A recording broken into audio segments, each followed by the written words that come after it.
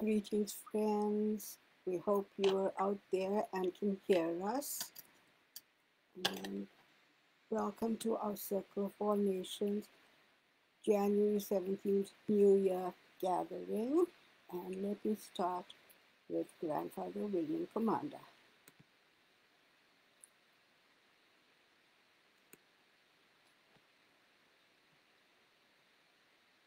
You suis nord-américain. Mais je suis pas indien parce que je viens, je viens pas d'Inde. Alors, euh, l'Amérique, Nord-Amérique, oui, c'est moi. Nord-américain.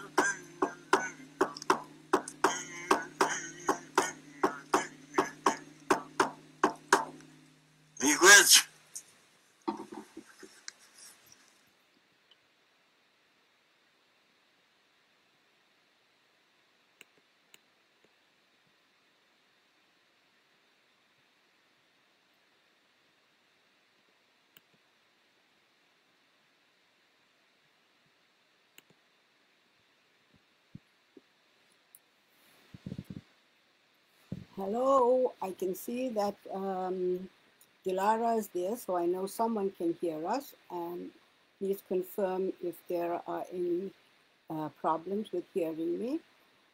And welcome then to the Circle of All Nations presentation on the legacy work of Indigenous Elder William Commanda. And uh, there's some little background information about me and about our work. And those of you who have already heard about our live video will know basically what our agenda is about today. Um, and I'll just run through it briefly. Uh, a couple of weeks ago, we witnessed the most special geocosmic moment with the dawning of the age of Aquarius, with the alignment of the planets Jupiter and Saturn for the first time in 800 years, uh, indicating that we were moving to a new position in the concept, uh, uh, celestial dome in the cosmic universal um, portion of the galaxy that we belong with, within the Milky Way. A very special moment that uh, friends like uh, like uh, William Sullivan, who wrote this book on the secret of the Incas, uh, alerted us to and alerted us to the tremendous knowledge of the ancient people of these cyclical moments in the Earth's um, uh, process of journey uh, around the Milky Way. And while we're not so much focusing on that level of uh, geocosmic uh, knowledge and information today. We really wanted to acknowledge this special time because those of us who are familiar with the work of Grandfather William Commanda will know he was very much inspired by the prophecies of his ancestors and in particular the seven fire prophecy, which implied that times of change were upon us. And he worked uh, very, very hard from 1987 and increasingly over the last 20 years of his life to awaken us to the urgency for transformation in our relationship with Mother Earth, with the geocosmic Mother Earth, with acknowledgement of the cosmic uh, in the lives of us ordinary folk down on Earth. Um, and uh, um, now, of course, we're all at a major crossroads in relation to the two things that Grandfather Commanda uh, taught us was very important our relationship with Mother Earth and our relationship with each other. And uh, uh, we're, we're here to, to learn from and affirm uh, the, the trajectory that he positioned many of us into in his Circle All Nations work. So over the course of this upcoming year, we plan to offer to uh, uh, live videos in the middle of the month to focus on some of the themes that Grandfather Commanda thought was very important. And today, for the beginning of the new year, uh, following the very special new moon of uh, January 13th, which ushers in this new period post the uh, December solstice, uh, the period when light returns to Earth. We're talking a little bit today about the ideological foundations that contribute to supporting the, the thinking and the work of the William Commanda uh, effort. So, from a kindergarten dropout to an honorary and research Indigenous PhD, uh, we're talking about bridge building and bridge, bridging relationships and knowledge generation amongst Indigenous, grassroots, non government organizations, governments, academics, and the corporate structure in a globally connected world in under unprecedented crisis. The theme for the online gathering is building bridges and creating hope and community in a world on fire and in global isolation. Linked with William Commanda's work, Seven Fire Prophecy, his prayer for Ginawaydaganuc, and the indomitable laws of nature and life. What we're hoping to do is create a global blueprint for an inclusive journey forward, individually and collectively. And we ask, is this possible? And because Grandfather Commanda worked till he died, we know he believed it was possible, and so we continue. Um, so I'm wanting now to, to uh, say that we're going to be showing this image that was created, I'll go back to it in a second, for gr grandfather's uh, birthday. And, um, and because I've had so many questions about it, I've uh, decided to explain it a little further. And in fact, really what I consider it just now is our Ojibwe prayer. As many of you know, I'm not indigenous. Uh, I met Grandfather Commanda in 1997 and have supported his work since then.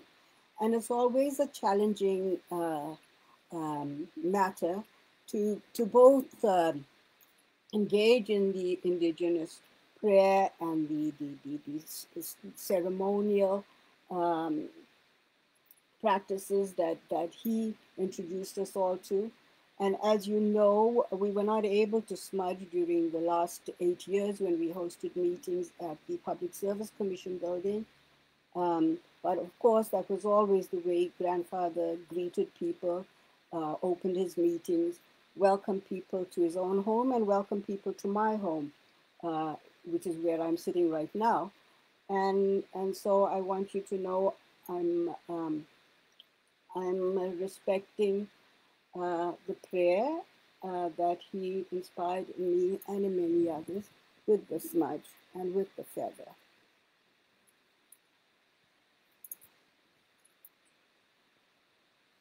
We'll talk a little bit more about uh, other elements in the ideological foundations that we saw reflected in the way grandfather did his work and did his life and did his com communications.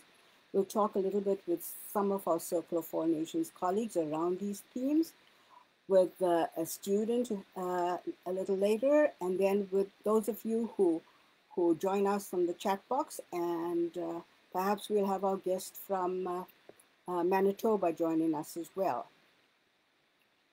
So this then is the image that I wanted to talk a little bit about.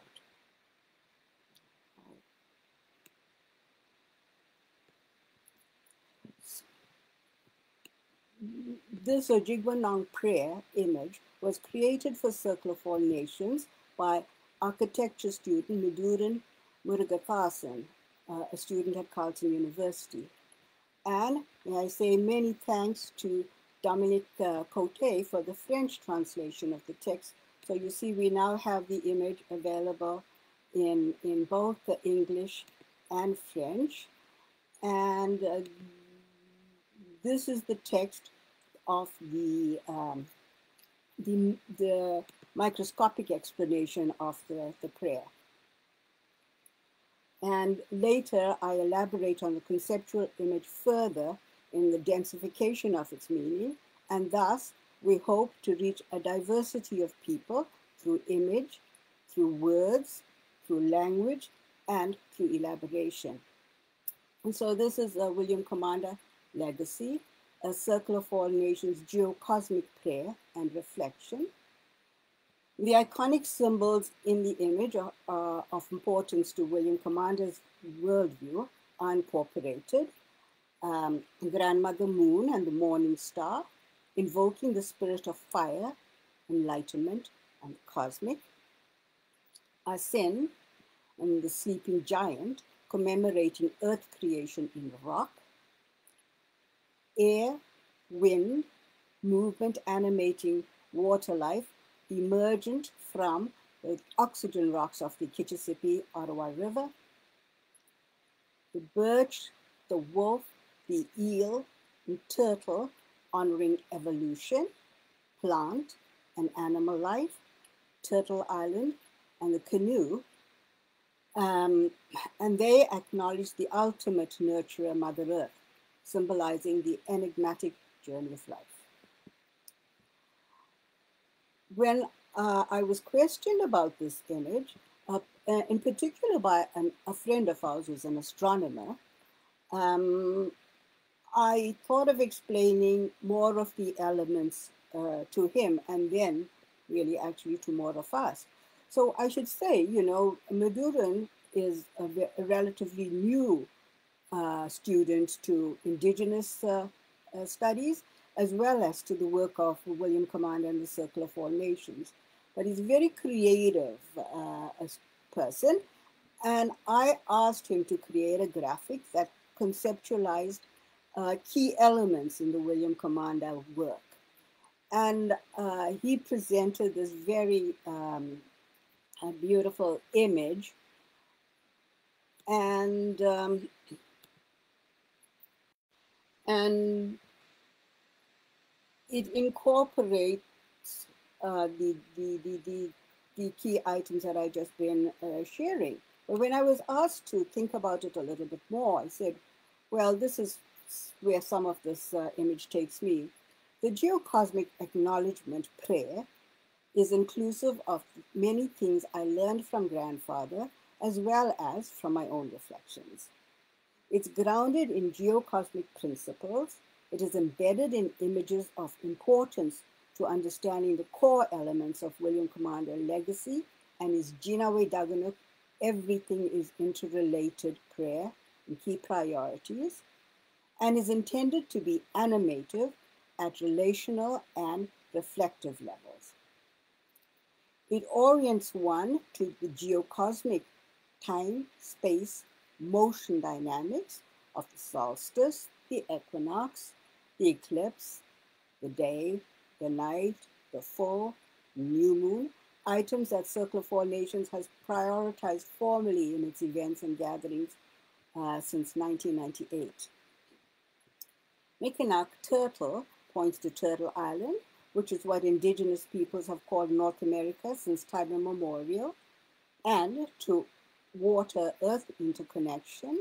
And you will remember in the earliest of our uh, uh, PowerPoint presentations, maybe two decades ago, uh, we would show images of the turtle and maps of North America, which uh, uh, reflected the, the, shape. And we always wondered how uh, the, the, the ancient people knew that turtle was the, the, the, the image that reflected their land base so special.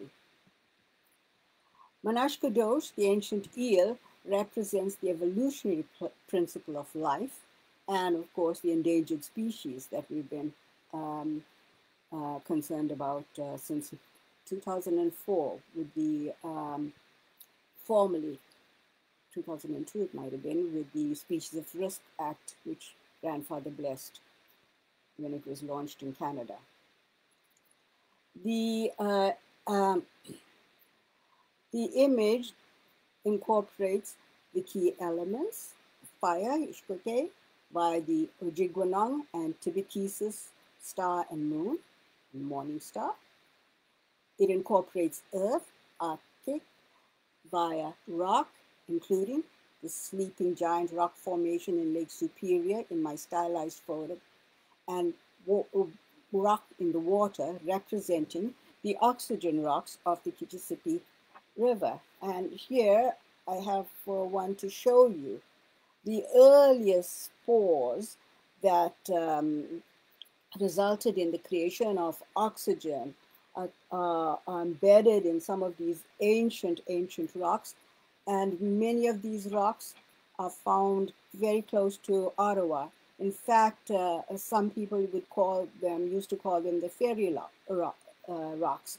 And uh, you'll know uh, folk from Ottawa that just across the river from, from where I am in Canada, there's the Lac des Fées area. And uh, in the earliest stories of the newcomers um, meeting the indigenous peoples, they would see these uh, fires across the, the land. And really, Native people were hosting many sweat lodge ceremonies and making sacred connection with a very important part of the land and a place where um, uh, oxygen generating rock creation happened. Very important principle for principle of life. And water, of course, the NIPI in the image is stylized uh, to imply the syntropic quantum physics feature embedded in water, where you can actually observe the, the, the, um, the universal law of life, really, uh, evidenced in water. Um, and of course the wind noted in the wave on the water. The image includes uh, plant life in the birch uh, in the birch bark frame, animal life in the wolf, also the mythic bridge between the human and animal worlds, the psychic cosmo connector, and also representative of our Wolf Award project, which honors people and organizations that promote racial harmony. It represents, it incorporates the human embedded in this geocosmic world, which sustains as Mother Earth, Kichimani Aki, is the ultimate provider for all, and the canoe commemorating William Commanda, a world-renowned canoe maker and his ancestry, and his Mamiwinini body in motion identity and the mysterious journey of life. We are mindful of the tragic challenges of the COVID pandemic and the violence in North America at this precise moment. Grandfather Commanda alerted us to this eventuality consistent with his responsibilities as the carrier of the Seven Fires prophecy publicly from 1997 and ceaselessly till his death in 2001. We now have an unprecedented global crisis, and we still don't see what is staring us in the face. A global shift in consciousness is desperately needed, and with these monthly Facebook Live video events, Circle of All Nations commits to animate the William Commanda legacy. We are yet to see anything more comprehensive and simple, but we are all needed to birth a culture of peace and a legacy of hope. I want to, to say a little bit then about the ideological foundations of our thinking.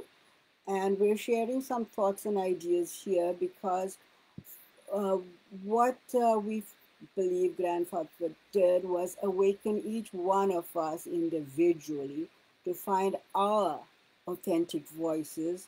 And as we found our voices, as we struggled to find our voices, so we became important parts of the Circle of All Nations tapestry that he was creating, a tapestry that is still really in the process of making. And as I've mentioned, uh, one student already, but later in the program, I shall have things to share about a few other students which show that young people who, uh, who didn't know Grandfather Commanda at all have expanded their thinking, haven't been exposed to some of his thoughts. So um, here we're talking about uh, things that uh, were critically important for him, the relationship with nature.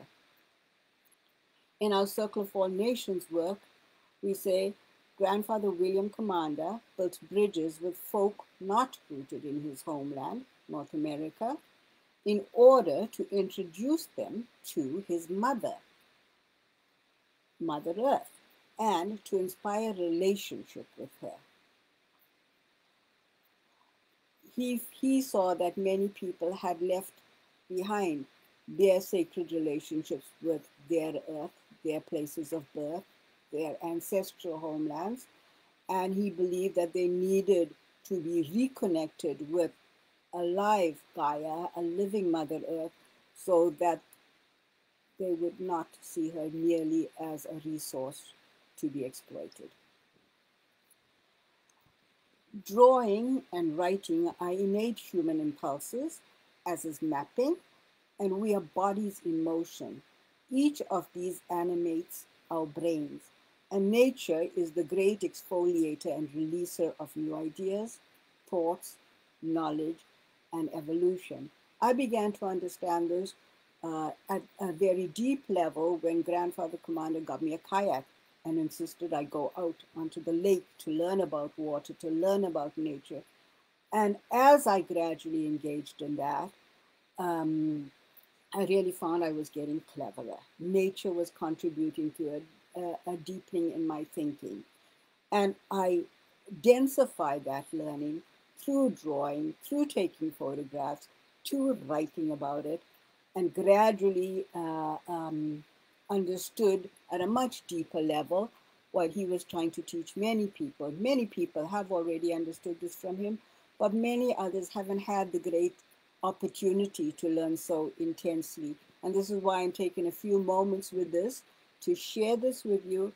Um, it also includes ideas that I myself evolved and developed both together with grandfather and even before him and separately.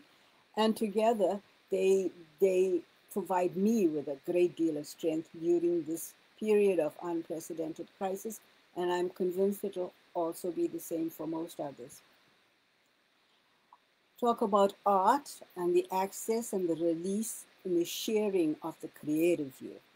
So here we say the simple way is to find a leaf or a branch or a shell, piece of driftwood, pick up a pencil, piece of paper, and draw. Draw every detail primarily by looking at the item from nature. Uh, I've included the, the, the, references of a couple of books that I found pretty insightful over the years. And actually what I'm going to be doing later is, is copying this uh, annotated uh, agenda and including it in, in the post lines. So you'll be able to access this uh, better later if, you, if you're interested. But that is one of the simplest ways of beginning to develop your own relationship with nature. Very simple, personal way. Self-reflection. Grandfather Commanda used to say to people who were in deep pain, go and sit by a rock or a tree or by the water, supported by nature, engage in deep reflection. Deep reflection about forgiveness and things that hurt you. Reflection about planning, about relationships. And, and, and uh, we complement that with saying journal regularly. We say journal three pages every morning and uh, allow your creative brain, your right brain, to expose and explore all its ideas what you'll find in the course of the rest of the day is the left brain organizes it and enables you to accomplish so much more than um, than we're otherwise um, capable of doing. And it's really because we're encouraging both sides of our brains to, to work in be better cohesion. Uh, when we talk about the drawing, it's accessing an Im imagistic uh, uh, um, stimulant stimulant in the brain. So it's it's really like really like especially right now when we're so isolated, we need so many things to keep us moving, keep our minds moving. And these are just wonderful uh, ways we can do this. Identity. It's important to spend a lot of time examining the multiple facets of one's identity in the search for the authentic you. Gender, race, culture, age, religion, education, our roles, interests, passions, our shortcomings. The, the, journey is really uh, to get to know ourselves as best as we possibly can. Uh, storytelling is one of the ways to gain courage and confidence to voice and share your authentic voice. Both you and others will learn from it. The talking circles at grandfather's gatherings taught us that we have both the right and the responsibility to speak. And as he modeled with the eagle feather, only we can ensure that we speak our best words. So it's constantly a, an aspirational challenge as we engage with others in the challenges of life. Dreams. Use dreams to guide you to your authentic self. And I want to share a little bit of uh, uh, uh, here that I extracted from a, a, a special book by Stase Michaels, uh, interpreterdream.com. And it's an introduction to dream interpretation. And basically, what his key points were, and I've looked at several other dream books over, over time, and I've just found this really pretty interesting and pretty simple and accessible. So his key points are that we have our conscious and our unconscious selves. And it's our psyche that negotiates between both worlds and presents messages to us in our dreams. So we all know we have our, our, our conscious self in terms of the jobs we do, the work we are, what we express about ourselves. But we know there are many hidden thoughts, many unconscious thoughts, any hidden issues, as, as well as the, the, the items we don't share with other people. The psyche negotiates between these two zones, uh, uh, Stacy Michael says in a very simple kind of way, and, um, and then presents messages in our dreams. So um, we're, we're, we're advised to check on the emotions during and after our dreaming. And uh, the intensity for emotions alerts us to the importance of a message in the dream. Um, he suggests uh, that we extract a one liner from the dream. So we're just following the plot line of our dream. And then work to align that one liner, storyliner, with one's life realities, considering issues of dissonance and projection, pointers, um, and, and so here we're really looking at instruction and guidance from the psyche. Okay, so basically the idea then is in a dream to just get the basic story. Then he points out that we dream in pictures. So we need to translate the images with respect to meaning as symbols. And these are, uh, are the bridge to the detailed interpretation of the dreams. And many dream books will give us ideas about how to interpret that, or our own lives and our own experiences will guide us in that direction. And then the point of the dream is it's, it's giving you a message. So look for ways to, to, to act upon the guidance of our psyches, bridging between our conscious and unconscious selves. The collective unconscious holds larger level of universal symbols and is another level to the dream interpretation. And I'm not really, really going there now, but I do want to, to mention that because you know what? I want to finish off this by saying our individual dreams and our collective dreams are really, really very important. And in 2000, the, the global world developed a vision for a, a culture of peace. The United Nations declared the 2000 um, a decade for a culture of peace. And as you'll recall, in 2001, we had 9 um, 11.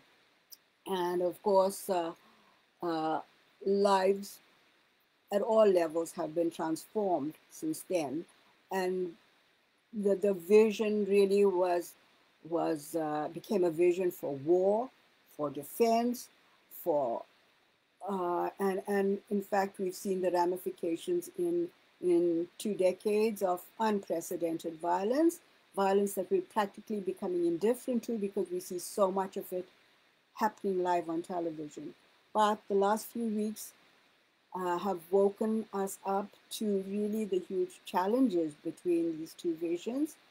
And COVID and isolation and, and the global connection reminds us that it is really so critically important for us to realize, as grandfather and his ancestors did, that Ginawaydaganuc, everything is interrelated, everything is interconnected, and uh, we have to find ways to bridge our differences to evolve a new vision for the future, a vision consistent with the evolution of Mother Earth. Now, the cosmic uh, reality presents us a shift in the, um, the ages. We're now moving into the age of Aquarius, and uh,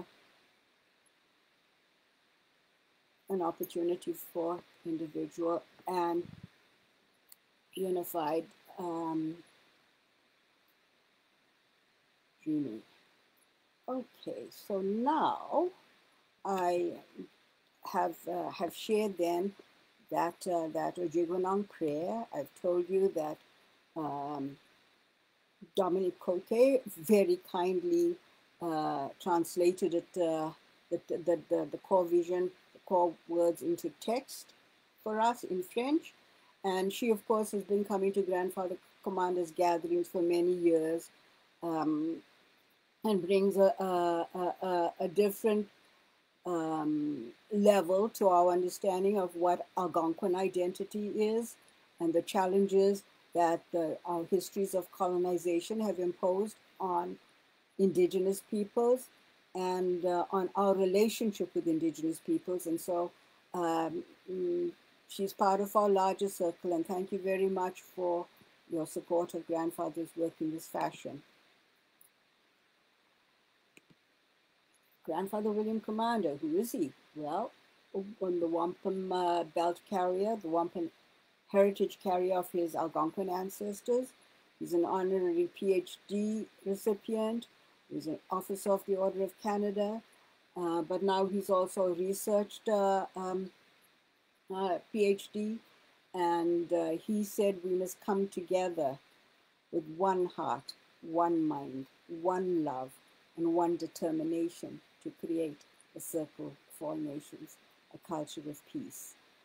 There he holds the, the, the three-figure wampum belt, the sharing, the welcoming wampum belt, really the critically important wampum of our time, even though today we're really focusing on the messages of the seven fire prophecy. But here, the indigenous in the center draws together the hands of the newcomers. In this image, the French and the English, um, um, but in modern interpretations, the old settlers and the new settlers, the um, indigenous is always in the center. And agreed, they agreed, William Commanda's ancestors agreed to share the grand natural resources and the land in equal portions with the newcomers. But they did not really expect that their values would be overrun uh, and that they wouldn't have their rightful place uh, in this uh, agreement, in this relational agreement It was a sacred agreement as signified by the symbol of the cross. And so grandfathers continued himself to hold out his hand in friendship to everybody, but at the same time, it's time for, for all of us to, to really engage so much more seriously in a genuine understanding and respect for indigenous peoples of what they have shared with us and uh, how critically important um, their voices in the evolutionary path of, of people and Mother Earth. Uh, so key images that I like to rem remind us of, Grandfather Commanda and our kindergarten dropout book, So bridging between different types of learning styles and knowledge and uh, with humility. Uh, him doing a prayer at the landmines um, treaty uh, release. And again, the prayer for peace then rather than war. A prayer for sacred site at Chaudière Victoria Island. And um, lifelong, life, lifelong learning. Uh, grandfather was very pleased to receive his honorary degree in the Western tradition, and uh, we're, we're working hard to bridge between all these various knowledge bases. Here you'll find like uh, the, the themes, the ideological themes of the Circle of All Nations and Sustainable Relationship ideas, ideas and how we, uh, uh, the, uh, the, well, the ideological foundations behind these themes, and then the animative actions we've taken over the years, Grandfather Commanda has taken over the years to make them real to us. Who is he? The carrier of the sacred wampum heritage, renowned birch bark and canoe maker and craftsman, a politician, a political Algonquin leader, elder, chief, chief of the North American Indian Nations government, founder of the Circle of All Nations, a global eco-peace community dedicated to advancing environmental stewardship and racial harmony. The Office of the Order of Canada, recipient of two honorary doctorate degrees, um, University of Ottawa Chancellor Michael Jean created the Commanda Hall in recognition of his relevance to the academic knowledge in 2014 and uh, he's now part of the uh, Canadian History Hall. He's um, he's there in Up the Gatineau, a historical publication, and uh, you know this is uh, we're going into the tenth year since the passing of Grandfather Commanda, and increasingly people find his voice and knowledge important. And now. Um, I'm moving on to our connection with some of the Circle of All Nations friends, some of Grandfather William Commanda's friends. And I shall now take a minute to go and video uh, call in three of our guests. And give me a second to figure out how to do this. Um, let me just check. Okay, Carolyn is there. Good, great. Ah, Luma, hello. Okay, so I see there are some people are out, who are out there and who are, are making themselves visible, and perhaps they'll uh, join us and, and chat a little later. Um, but now let me go and find our special guests and let me video call. So. Oh, there's Ramona. There she is. Hello. Hello. Hello. Well, we we're, were going to just, we were coming to try and grab you there for a minute. Oh gosh, you guys are. I was I was talking too much in the earlier portion, eh? Uh, I don't know if you heard our, our conversation.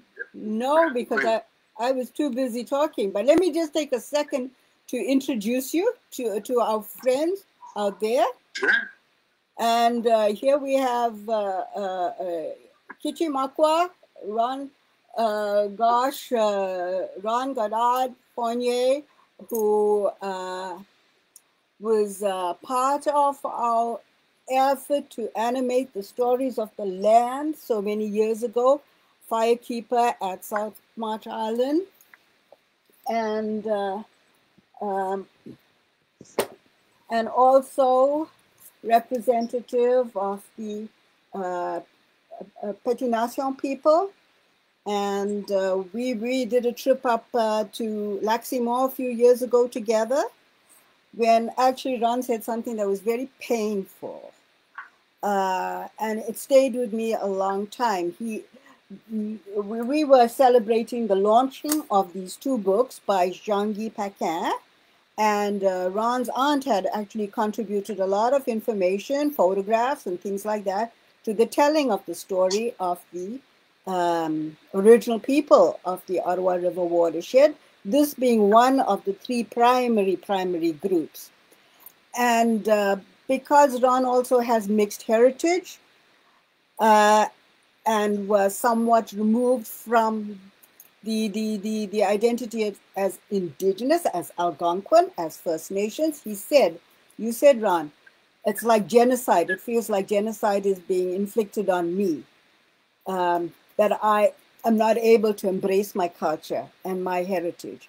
And, and, and that is really um, the kind of uh, issue that is really, really so important for us to find new ways of addressing. So, um, but other than that, that was not the, the reason for this joint presentation. That's just a little bit about the background, a little bit about the uh, passionate sharing you brought to South March Island and lighting the fires there. Uh, but you were also the person who brought sweetgrass braids to the pipe ceremonies that Grandfather Commanda used to host at Chaudière Victoria Island. Every June 21st, we bring bundles of sweetgrass braids, and we're always grateful for how you reclaimed your culture and heritage and also how you shared it with, with people, including grandfather. But then along the way, you invited me to come to the land, and finally, actually, after grandfather died, I was able to join you. And that is when, by magic, I met Winnie, who was here from Denmark and uh, also participating in your medicine teaching. And, um, and then thereafter, as some of our Circle of All Nations friends, Winnie went to find the, um, the guy who had come and gotten grandfather to build a canoe in Denmark, a canoe hosted at the Roskilde uh, Museum. And she uh, uh, interviewed Jim Stanby, and I have actually had grandfather from his own home have uh, birthday conversations with this guy. So the relationship that they maintained while grandfather was alive and over really two two decades, Winnie reignited. We've got a video, special video with those people, but she will tell us, and Ron will tell us about how Ron Big Bear's sweetgrass uh, seeds have, uh, you know, found life elsewhere. And then finally, let me introduce Delphina, who's written this very special book about the turtle's dream. And since then has connected really uh, so much with our Circle of All Nations. And I want to say especially why I have a part of this thing, other than the fact that all these guys are into nature and the connection with the, the, the laws of life, laws of nature. But Delphina came to visit uh, a few years ago, and we went to the Quarry Trail right here in Canada. And we had a really, really special experience, an awakening in the context of your ancestors. And some of these Algonquin ancestors belong to the French River eh, uh, portion of the landscape. So from from uh, Ron in the east, moving towards the Great Lakes, uh, it's a really beautiful circle. And so I'm very grateful that you are joining me. And now I'm going to quieten down. Uh, people will see that I have this image here that, that shows the, the turtle dream, uh, the sweetgrass uh, story written by one of uh, Big Bear's uh, friends about his work, and Winnie Seeds. And we'll just go over to you, Ron. Thank you.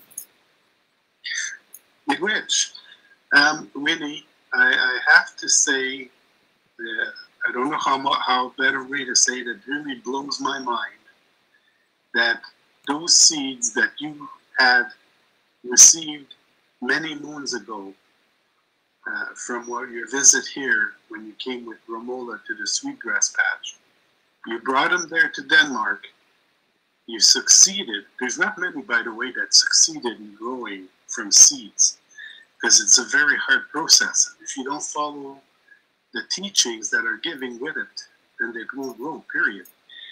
And and it blew my mind that, that those seeds that came from here went across the world, went to Denmark, and you were succeed, successful in growing the sweetgrass medicines, which, by the way, that medicine is meant for all four colors of the world.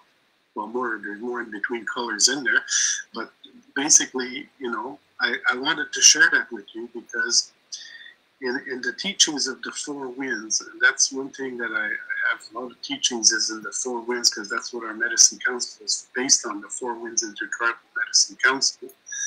Um, the, when you look at the, the, the white the white color in the north, the white folks, the white people are very, very intelligent people. The thing is, is that as you know yourself, they, they lack certain wisdom to the animal world, and that, and you found that wisdom. And it's smart, and it, it's very important to learn that. And and for us, the red nation mixed with the white, um, I always, uh, this is a new term I've been giving to people, is we're the best of both worlds.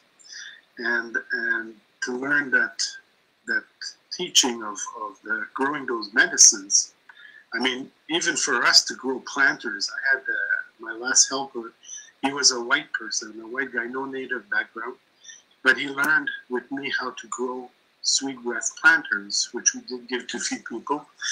And, um, and, and again, like with the seeds you have, uh, I remember a few years back you sent me a picture of your, your, your little garden. And I found that so amazing to, to see that it just proves you that if you really want something, you can make it happen.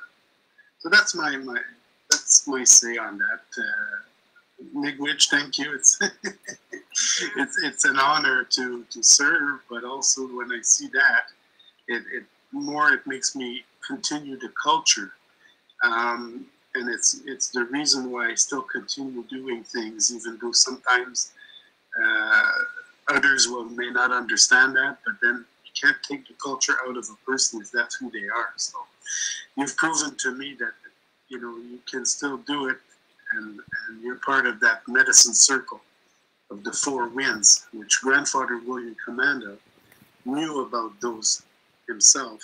And uh, it doesn't just represent uh, fire, air, water, and earth. It represents, uh, I would say there's about 21 layers, interlayers into the medicine circle that uh, I was able to incorporate with the medicines and everything, the animal world, uh, from humanity, etc., etc.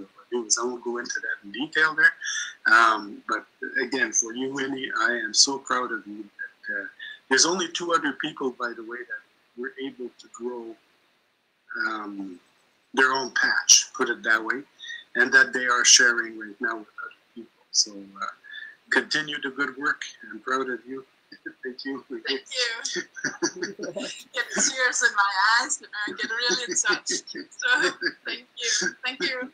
It's an honor. Yeah, so I remember the first time I remember the first time I was uh, meeting, so to say, Sweetgrass. I was standing there with you and you, Romola, and the whole group out there in the middle of nowhere, so to say. And I remember that at one point you said that now we could go out and pick sweetgrass, you know, offer tobacco and all that kind of things. And I thought to myself, but I don't know how they look. you know, so I was standing there and I thought to myself, okay, I, I can't just enter on my own and everyone is walking away. So I thought to myself, I must feel where to go. And then I began walking and I was really concentrating about how I felt and where to go. But my mind told me, you cannot be sure about that you can find sweetgrass, you know. But I kept on walking, and at one point, I felt that I should stand there, right here, where I stood. And um, and I was waiting for you to come around, and then I asked you, "Oh, do you know what? Can you please show me how sweet grass they look, and if you if we can find some seeds, I really would love to bring some down to, the, to back with me to Denmark." And then you began laughing, and you and you looked down and you pointed just where I was standing, I was standing in the middle of the sweet grass, who actually had seeds on them. So that was the kind of my first meeting with sweetgrass out in nature, and it was a wonderful experience with you and you, Mola. It was yeah, really. And uh, yeah, and with respect to that, we don't really actually know without Facebook Live who's watching us, whether these are really Circle of All Nations friends, whether these are people who are familiar with Grandfather Commanda. Uh, but so perhaps we need to say that sweetgrass is one of the four really important medicines for Native people. And you mentioned tobacco, putting on the tobacco, and then the land uh, allows you to accept and receive. Um, earlier, I had lit sage, another one of the sacred uh, herbs, and uh, cedar is the other one, uh, a powerful cleansing, healing medicine. So, yeah, in that context, then the sweetgrass is, is so very, very special and smells so amazingly beautiful. Uh, yeah. Um, shall we just uh, uh, have um, Delphina say a few words and then we'll go back because I know there are other things you guys will want to share. Uh, hi, Delphina. You're awake in BC. Hi, Ramon. Was that? I said you're awake in BC. It's good to see you. You too. I just want to say, um, I just want to say miigwech for Romola for inviting us all together to come together today, and uh, you know, I really appreciate it to be in the circle and for um, you creating this to happen. Just want to say miigwech. I also want to say that on on the traditional land right now of the Songhees and Lekwungen, uh, traditional people here in British Columbia. So um, the blanket that you see behind me is done from an, an, a Haida artist um, up north in BC. So I just wanted to just um, affirm the land that I'm on right now. So uh, I've been here since, uh, well, I guess now for, I think it's about a year and a half where I've been staying put. My, my staying put has been since September the 1st, 2019. This is so long for you. Very unusual yeah, for you. Yeah. Huh? That's rather unusual for you because in that ancient uh, Algonquin way, it seems to me you circulate between BC and Arizona and Sudbury, Ontario, and you seem to be doing a regular movement. But uh, COVID is keeping you yes. there now. You know, from from from you watching my journeys is uh, you know, yes, you know. Um, so where do I come from? People ask me that, especially when I travel, because I do a lot of traveling. And I was I was born in Northern Ontario. Um, you know, it's called Sudbury, Ontario. Um, I'm Métis. So my mother's line is Anishinaabe um, and Algonquin combination of also Abenaki. And my father um, is Italian and maybe Spanish as well too. So on my on my father's side. So there's a combination. And but the, I find that there's some there's something that is a common is interesting walking in not just both worlds in many worlds. Um, that I am being called I am called like Ron just had mentioned earlier. We got to talk so lovely to meet both Ron and Minnie. To talk, have a little bit of chit chat before we started. But okay. the calling to go somewhere is something that um, started happening to me in my teens. But um, I go from to right, Northern Ontario to Quebec. You know, to me, there's no border lines. And then I would go to Arizona, and then I would go to South America, and then come back. And people kept asking me, where do I come from? and, and then you know, especially when I spend time with uh, my Hopi grandmothers and Dene grandmothers, they're like, where are your people? Where do you come from? And tell me about your mother's line because they wanted to know. They said the mother's line is very important. You're a traveler, you're a messenger, right? So they were always asking me that. So, but, so anyway, so um, I started to realize that because of everybody, everybody was asking me where I came from, and what happened to me and where I was going that I was telling stories naturally.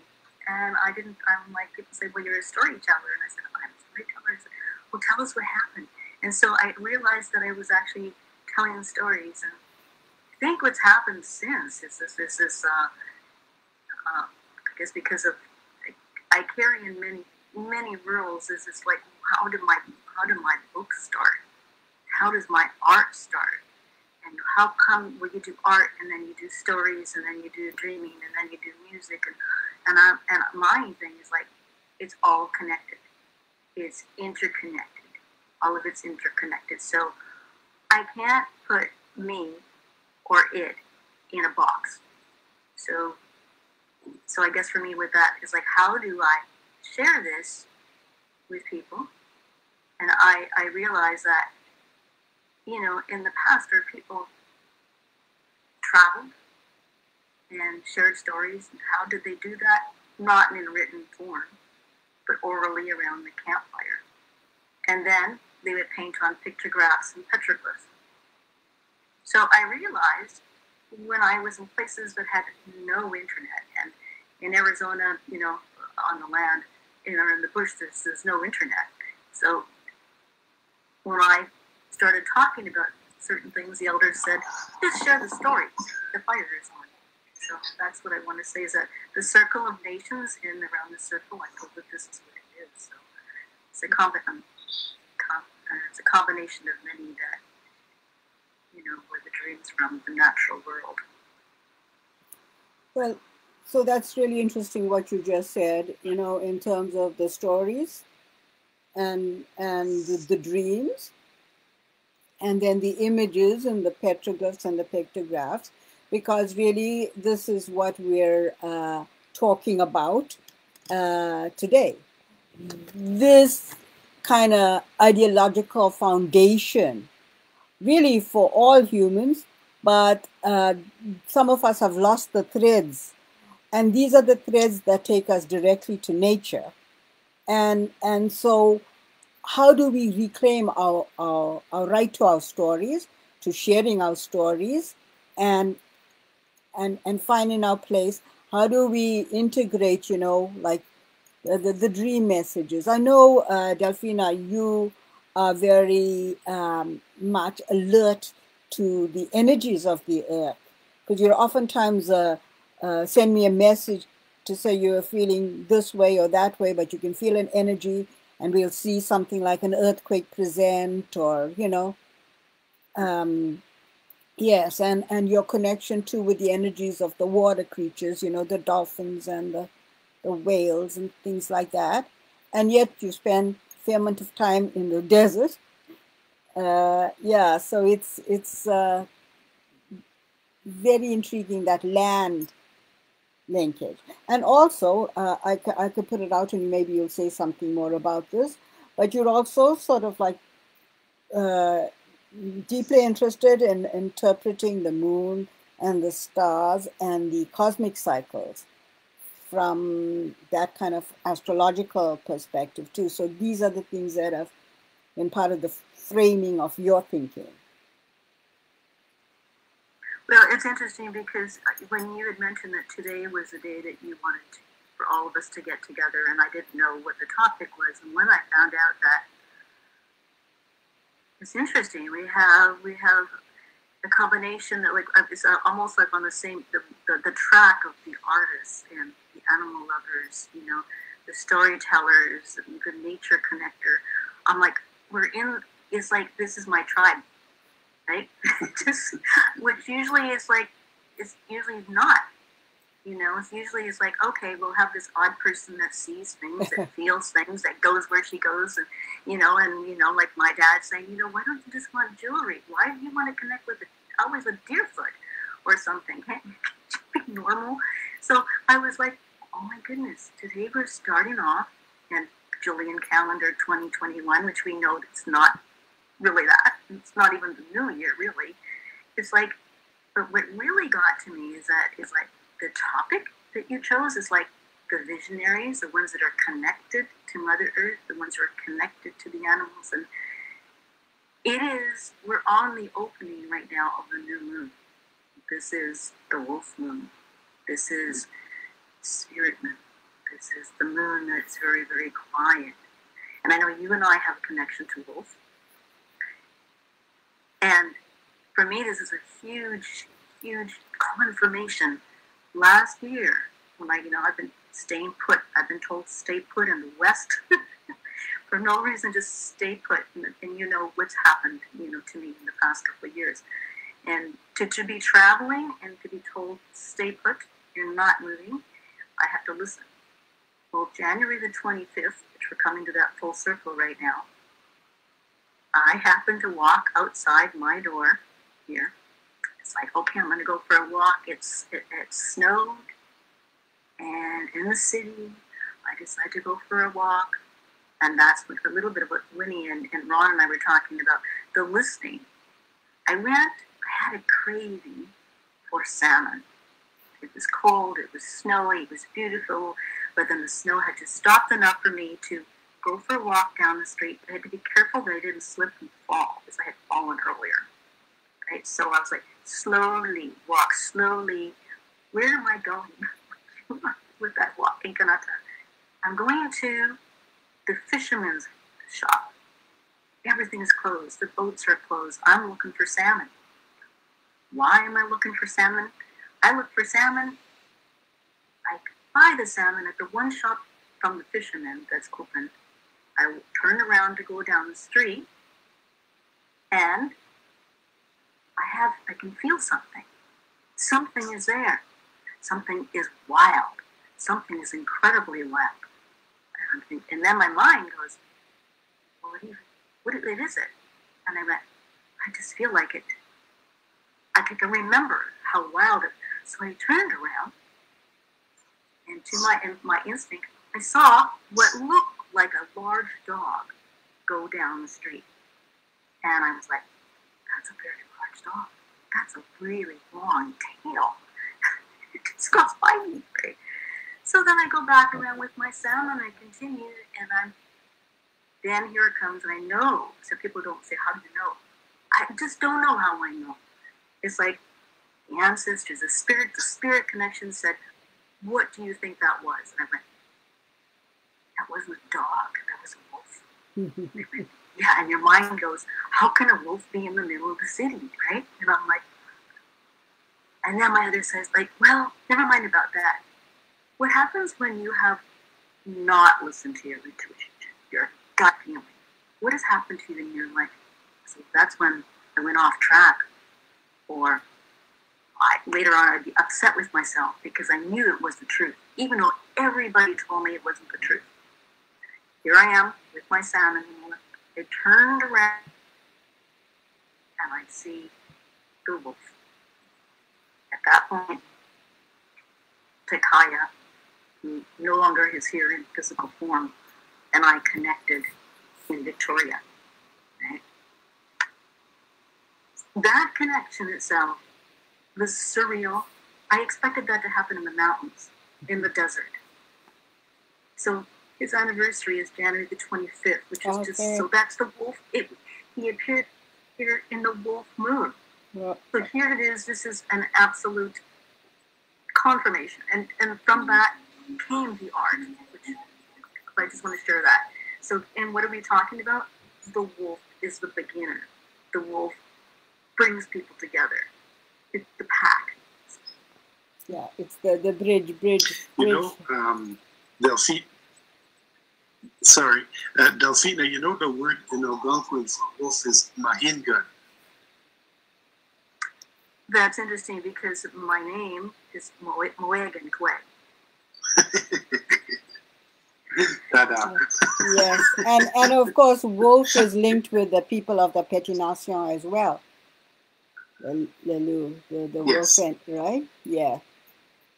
Yes. Yes. And uh, Wolf, of course, was uh, a particular special helper to Grandfather Commanda. Uh, it's a long story, and I won't say all of it now. But when he was a child uh, and off on the trap lines with his father, Grandpa Alonzo sent him to go and check on the trap.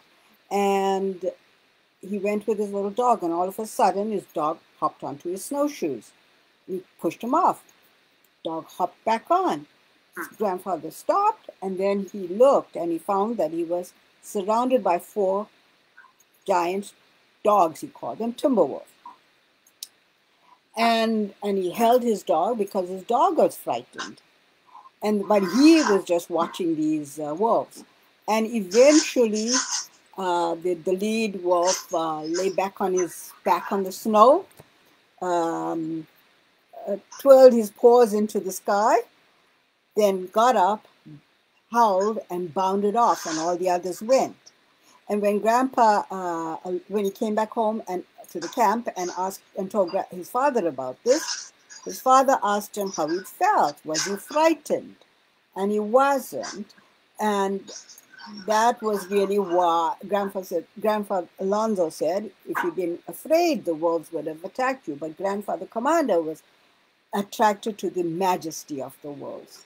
And so they really actually became his helper. And it's an interesting thing. One time, uh, some ceremonial people wanted to uh, dismiss grandfather's wolves. And, uh, and and uh, after that ceremonial moment, you know, he'd been sleeping. And uh, the first thing he talked about was the wolf story. When Grandfather Commanda died, I thought, well, now am I going to hear the wolves howl?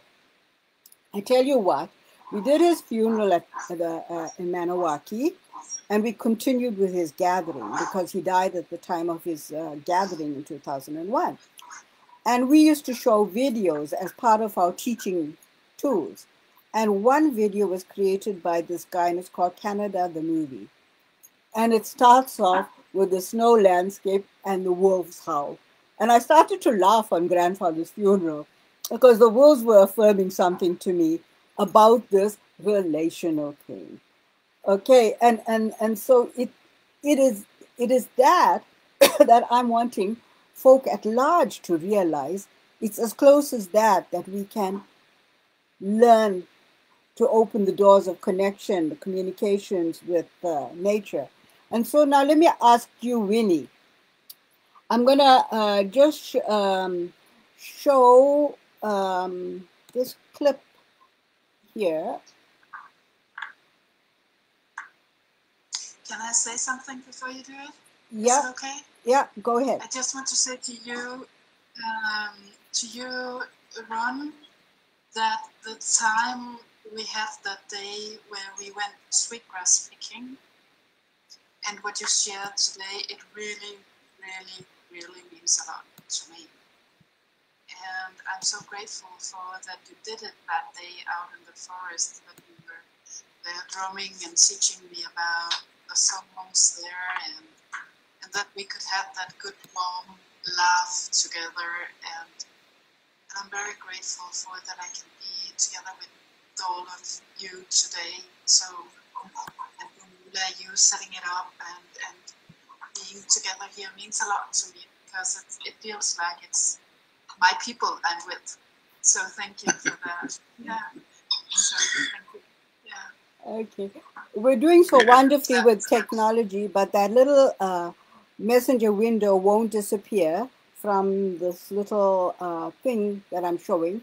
And really, one of the stories you'd wanted to talk about was this encounter with bird. And that's the image I've drawn up here. I don't know if you can see that. Your bird. When you. I can't see any images. No. You can't. I can only see the four of you. Oh. Okay. Well, let me just um, close that one off and let me just allow you to speak to it because I shall have the links then for people at large to see. But uh, but Winnie, you sent me a couple of uh, items that you wanted to talk about. One was your meeting with the bird. Um, do you recall? And uh, you stopped your car, and you felt this little bird needed some attention, and then eventually it flew away. And a little later, I'm going to show the uh, uh, a little section of your way of relating to nature, and then again we uh, we can plant these links into the Facebook live video so people can go to them and then connect with you guys to learn more in, in the future. Likewise, Delphina, you sent me some photographs. that you could put into the chat line so that people will see it as a part of this uh, uh, Facebook Live. Okay. Okay, but you want to talk about that? I mean, the reason that uh, we actually decided to move in this direction with this uh, January uh, Facebook Live was because uh, Winnie and I were talking, I think, at the time of the new moon or just before that. And you asked me what, what the moon means to me. And I didn't say this earlier in my presentation, but here's a little thing that I talked to somebody about the other day. Okay, so and and when I talked to somebody else about it, it was about the time of the full moon, and they were feeling like edgy and uh, you know anxious and full of like raw energy. And I said, "Oh wow! When I used to work in prison, we used to call that the orangutan time, because all our inmates would be edgy and the emotional level, the energy level be heightened and more challenging, more challenging for people to manage. And um, and then I was saying, but like, look, we know, at least some of us know, that the moon is connected with the waters, with the tides, with the waves. Some of us know that uh, the moon is connected with the planting of the seeds, the the new you know growth patterns. We know moon is connected with uh, uh, spawning of fish, and you know Delphina said, well, this is the wolf moon. You know we have these kinds of uh, ideas about the connection of the moon with Earth. So why would we not expect that the moon would also connect with us emotionally and energetically? And so I said, uh, I was saying to you, Winnie, what I do is organize my own work and planning around the moon cycle. So I say the new moon is a time for new beginnings.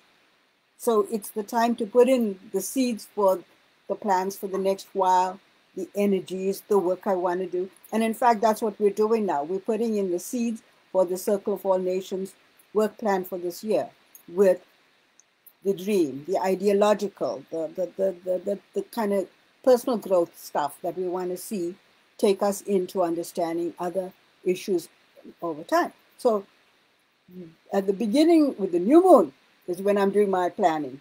But by the full moon, it's time to think about how you're finishing off your cycle. You know, over the next few weeks, are you finishing your projects? Are you, you know, getting on with them? And I'm thinking if people put some attention to that, maybe they'll feel less orangutan at full moon time because now they'll know the time is to not feel anxious about all the things you haven't done, but to get going so that you are doing your job just like the moon is doing her job, you know, and just like all those other cosmic elements are doing their job. So, anyway, so it was really interesting that that is how we started um, organizing this. And then you you do you want to talk about that bird experience or sh- no. Winnie. I, I could do can do but i think that the main thing about the bird situation uh, that i felt what time i should leave my home and I felt that I should drive in a specific direction. And my GPS in my car told me to drive to another, to take another route.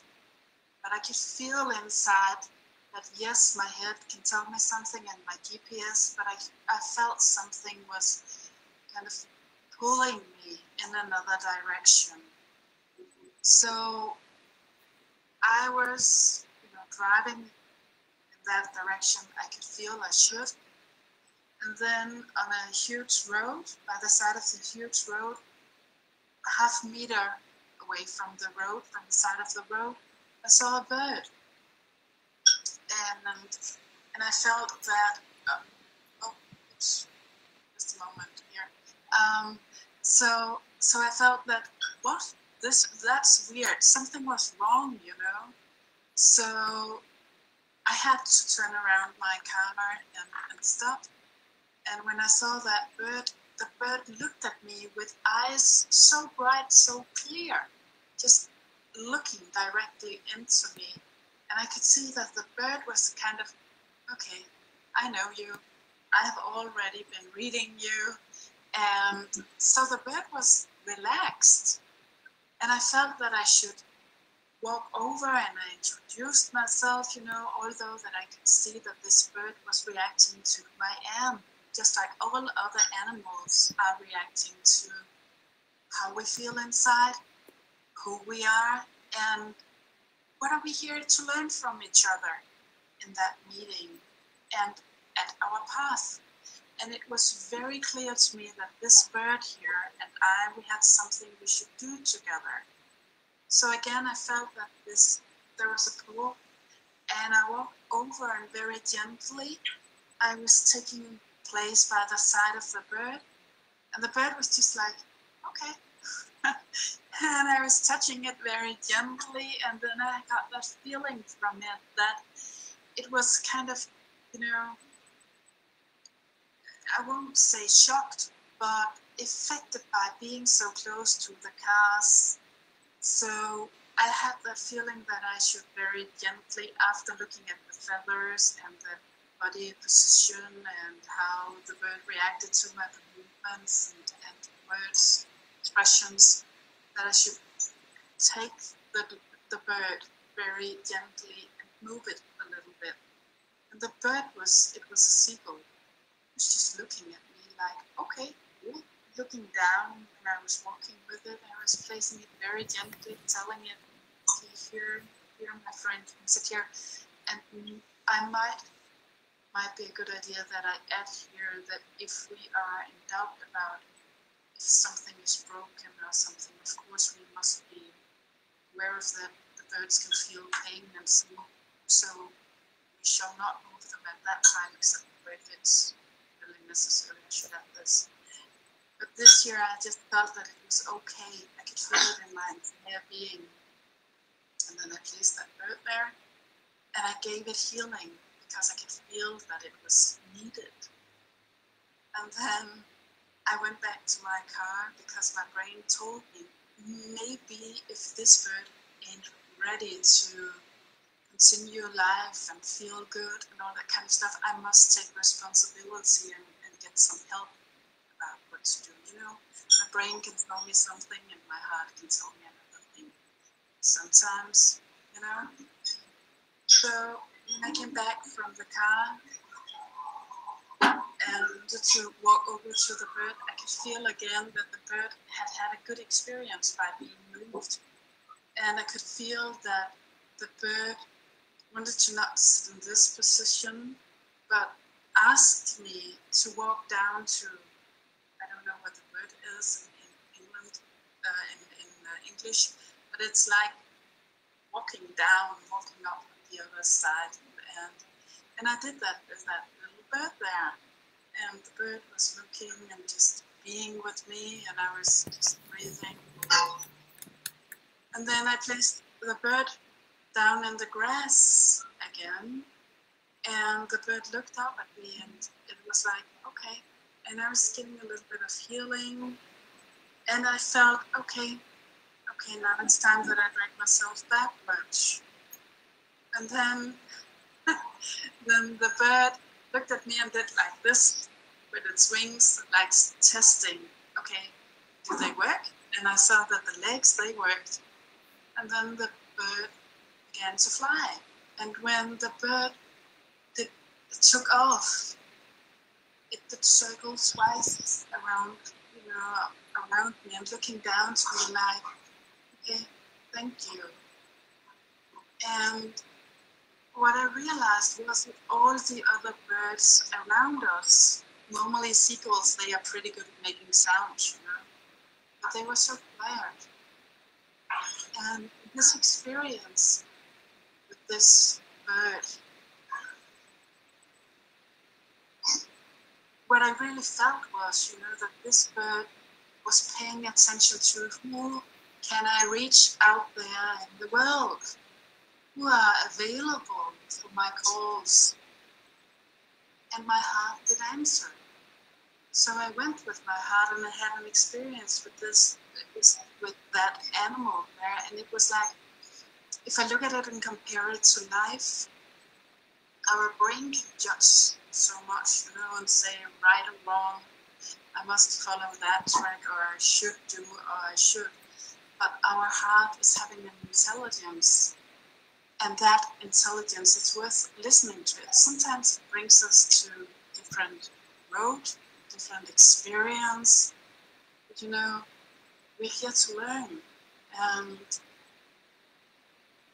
I think that one of the things I've learned the most from animals are that they carry wisdom.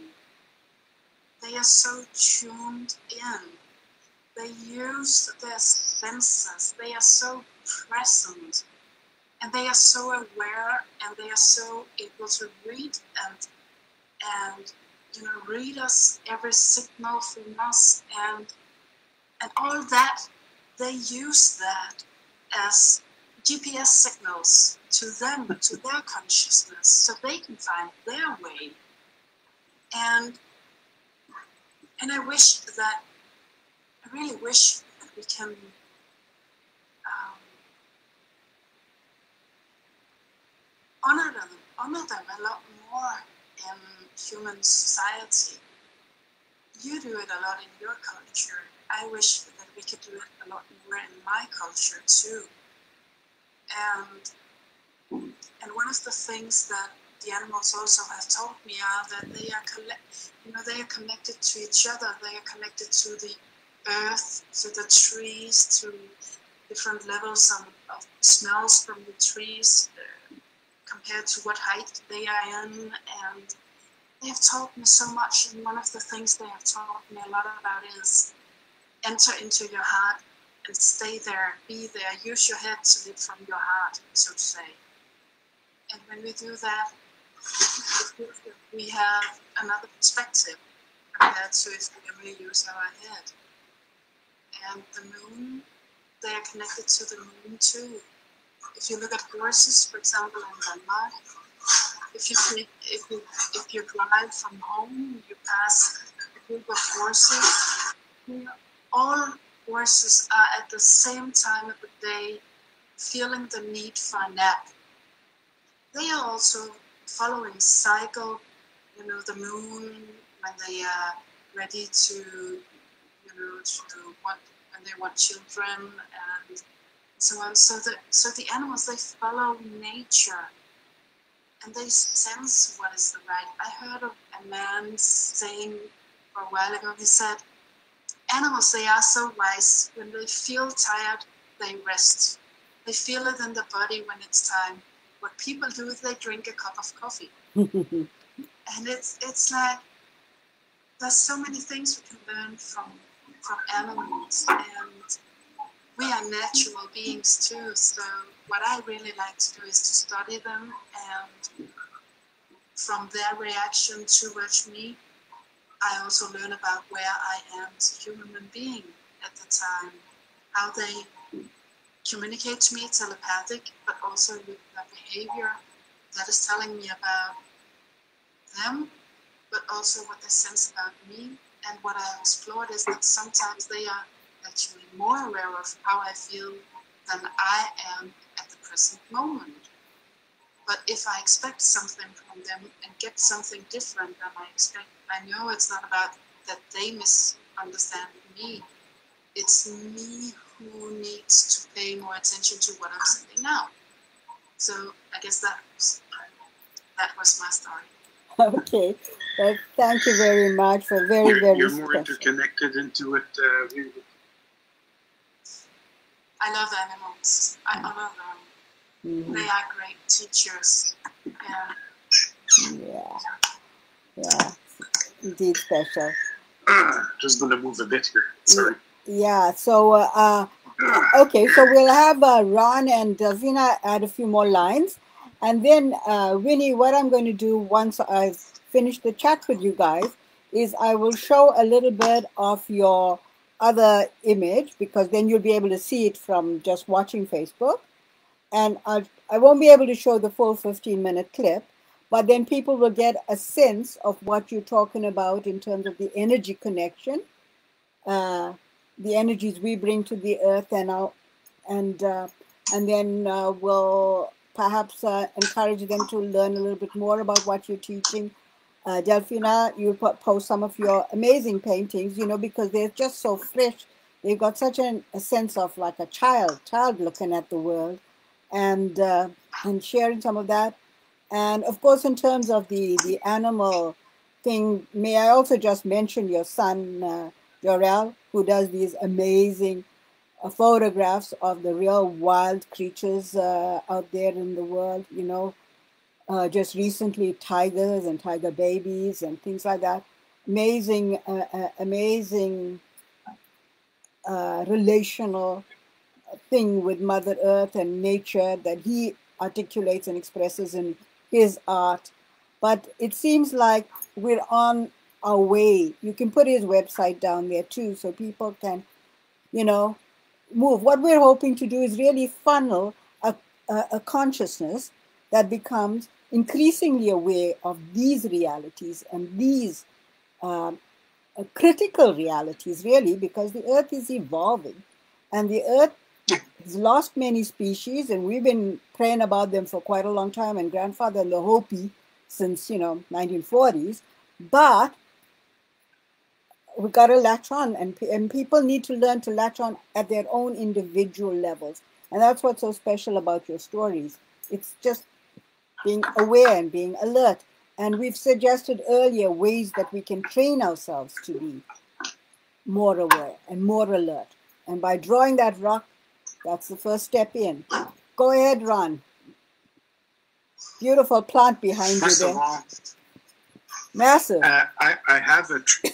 That that's a tree. It's a real tree. Wow. I have a real tree in my apartment. Wow. It's beautiful. That's how, how my wife and I. Oh yeah, we're, we're we're interconnected here with the trees. CG gee how do you keep it looking so good? Because my, Uh, Well, she she trims it quite a bit, and actually, yeah. that that that tree is also our Christmas tree because Okay. we don't we don't go cutting trees. We just throw lights in that tree. We've had that tree for 30, 34 years now. Wow. Wow. So uh, for for those thirty four years, we, we've been using it mostly also for the Christmas tree. So you, you, there's a I'll send you the picture of that with the lights on. Okay. Beautiful. Looks like a, but uh, that tree is very very special. Uh, I, I have a chair underneath it when I need to have a bit of uh, when I can't go out there in the nature, and I just need to relax. I go sit under that tree okay. and I let the energy you know, Join. You know uh, what? absorb. Uh, something I want. Sorry. Go ahead. I'll ask you about that tree later because I need some Okay. advice with mine. Go ahead. Well, um, basically, uh, what Susie does do, she puts more earth. Like she'll take some earth out uh, every year and put some new earth, so to give it more nutrition again. And it's a, it's a very happy tree. I watch the babies uh, form like every time there's little baby leaves. Um, uh, you know that, that, that that's an inspiration tree to me. Earth basically is a, it's a tree that gives us a lot. That's nothing compared. Look at here. I'm going to show you something. You, you won't believe this. My wife has such a green thumb. Here, here's some other of her plants. Oh wow! Wow! Wow! Wow!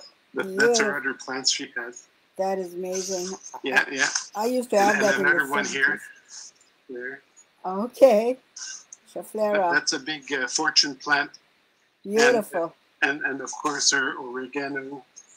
Oh yeah, we're we're, we're green. We're big got- green. Big green. Great. and, and, and, and, and all these plants in the morning when you get up the air is very fresh in the apartment so uh, it helps uh, uh, that's the filters of the earth right?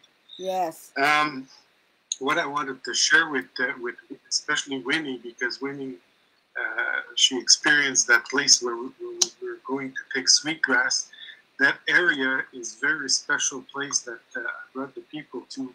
And there's reasons uh, behind all that is that it's basically a corridor And and of course, as you're you're so interconnected with the animal world, I don't know if you you Romola and Winnie, if you noticed that that when you arrived at the spot, there was a lot of birds, a lot of animals, and everything.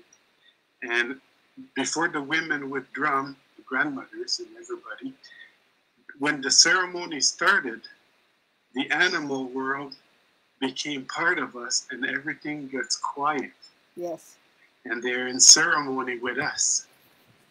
And that's every year, every time we did that ceremony of the four winds, it's every time that happens, and I can vouch for that, the grandmothers can vouch for that, is that they're all interconnected.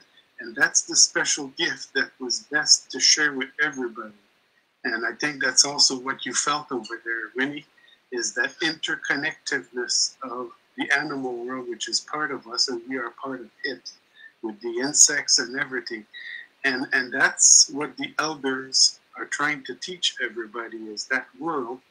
And what best way to show people than to just bring them out there and experience it themselves.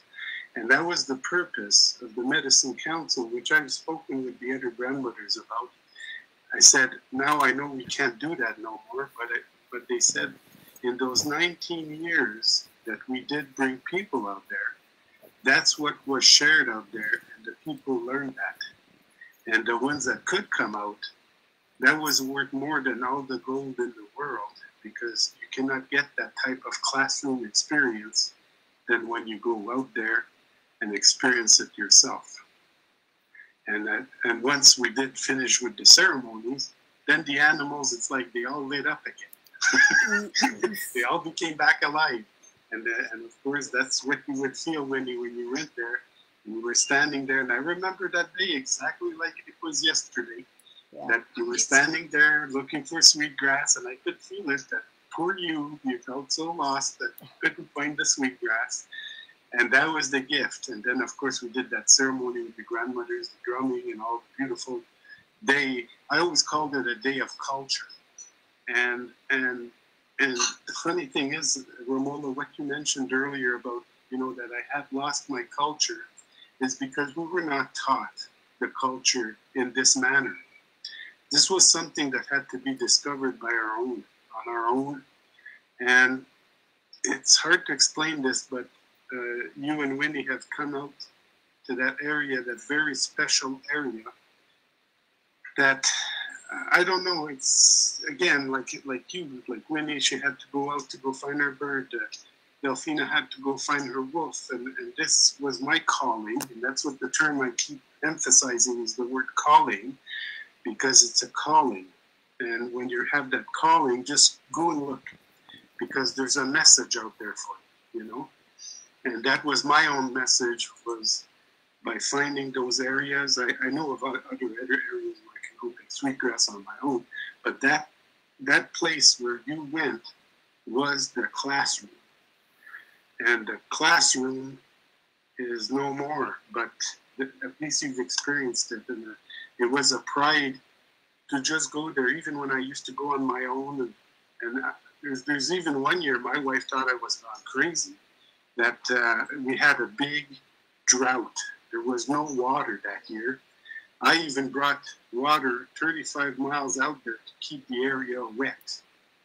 And I'd, I'd, I'd find an area where I, my brother used to live nearby. I could bring my containers of, and fill them up with water and spray that in the field, in the area, and just make sure everything was always wet. And we never lost that area because I, of that work that was done but it was more of a calling to me like like for winnie her animals is more than just animals for her. Well needs the medicine world and everything that's around that's interconnected.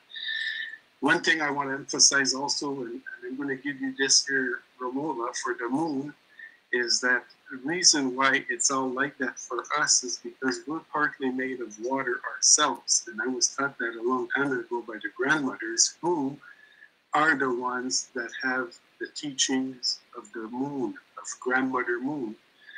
And and the teachings they shared with me is that we're interconnected with her because of that water we're all made of. And, and like you said, because you got part of the other answer is, is that when there's the tides and the different moon cycles, etc., cetera, et cetera, it does affect our, our changes. I can't even sleep properly in a full moon, neither can my wife, because of that attraction of the, the, the moon, you know, it's, and it's normal. It's, it's the way it is. So you're right. And what you just said earlier on the moon, you know? So, and, and of course, learning how to, to see the seeds, how to, you know, my my mom always taught me, you know, there's certain times you don't do uh, uh, things, you know, you don't plant seeds or you don't uh, water the garden uh, in the middle of the sun, you wait till nighttime, etc., etc., things like that, you know. Uh, she had the greatest respect of animals. Uh, sometimes I'd wonder, like, you know, why, why does she find this little field mouse and she's nurturing it back to life? I mean, farmers would kill them because they're rodents, but you know, she had the respect of all animals. Uh, I even found a little white, uh, what do you call that, an albino pigeon. One time it had been hit by a car, it couldn't fly. And they're like, I can't leave it there, it's gonna die. So I brought it home. And of course, it, I had wrapped it in my coat and it had made a mess in my coat. Of course, my mom wasn't too happy about that. but we did nurture that pigeon back to life. We put it in the cage temporarily so it wouldn't hurt itself more. I fed it, you know, whatever I could figure what needed to feed it. And once it was trying to, Winnie said with the bird, they're trying to fly away, and they're, oh, now it's ready, you know, it's, it's trying to exercise its wings. And I brought it out on the balcony in the, veranda, let it flap its wings a bit, and took off you know? And that, like you said they, they know they, they thank you in your mind you know? They thank you for their help. And this is the main thing i can say from my own experiences and the wisdom i've learned around the animal world is that um, the teaching we're taught is that we have to learn the simplicity around the animal world to understand them better so that when they're in turn needing our our help. The gratification we get in return is because of our knowledge of helping them, they will help us back by giving us, you know, because without animals, you're not happy in this world, seriously. It's not the material world that will make people happy. I mean, I've seen people coming out there. Why, why, you know, I, I kept asking people this. Why are you coming out there just to pick grass? you know, to white, to, to, to, standard white folks here around here or other cultures, they'll think we're crazy because they don't understand. But it's about learning that interconnectedness of the animal world, the insect world, the plant world, and all these worlds that are interconnected with humanity. And when we learn that simplicity, then I don't know. I, I can go out there and learn things. I mean, but it, it's it's a classroom. Even the one, the little bush across the street here, the things I've learned from it. Uh, there's a couple of years back, uh, I remember bringing people there to pick sweetgrass. There's a year we had uh, poison ivy.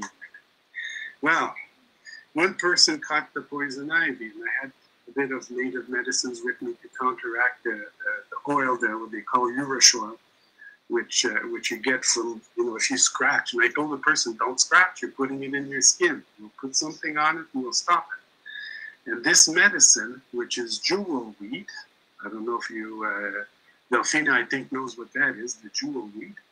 But that jewel weed it contradicts the oil of the poison ivy. So if ever you go back in the bush, that jewel weed here, anyways, in this region, it grows around middle of July up until August. And anytime I go in the bush, I'm going to put my tobacco down, grab a half a stem of jewel weed, and carry it with me because you never know when you're going to get poison ivy. I know how to identify it, but there's others sometimes that don't know, you know. And this stuff is real magic stuff. It's like a super aloe.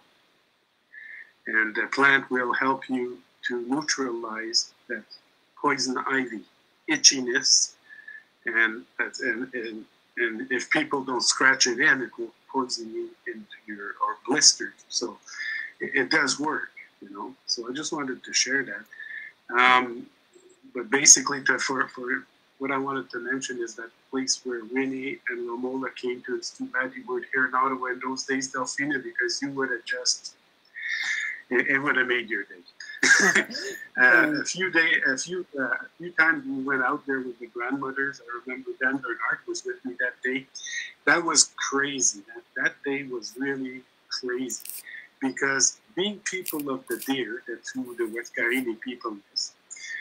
Dan was with me, and and I told Dan, I said, I, I have a weird feeling we're going to see something special out there this time because you're here with me, and you're, this is the only time you're here with me coming to the sweetgrass field. And sure enough, there was three young does, hmm. deer. And he walked, he walked towards them and they never ran away. And I told him, I said, what does that prove you, Dan? That we are the people of the deer. Mhm. Yeah.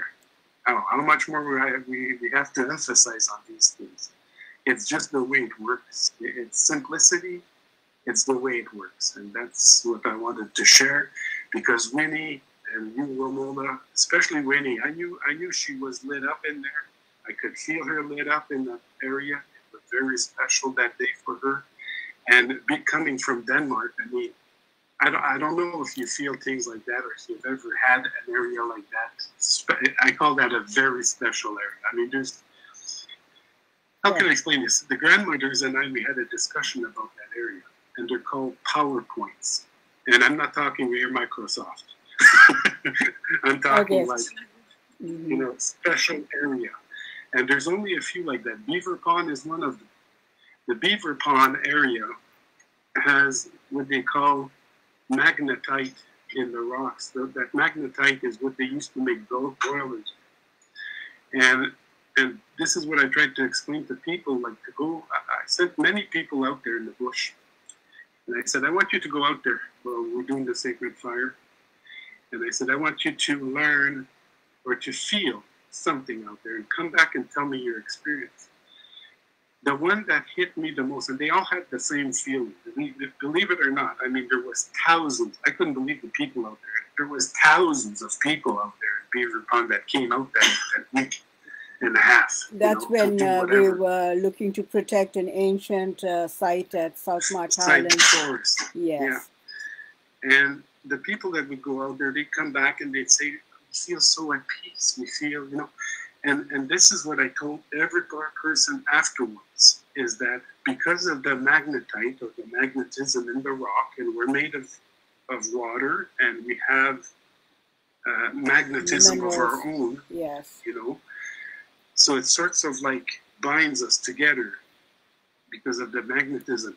But one one group of people that really, um, how can I say this, uh, hit me. That's about the best way I can explain that.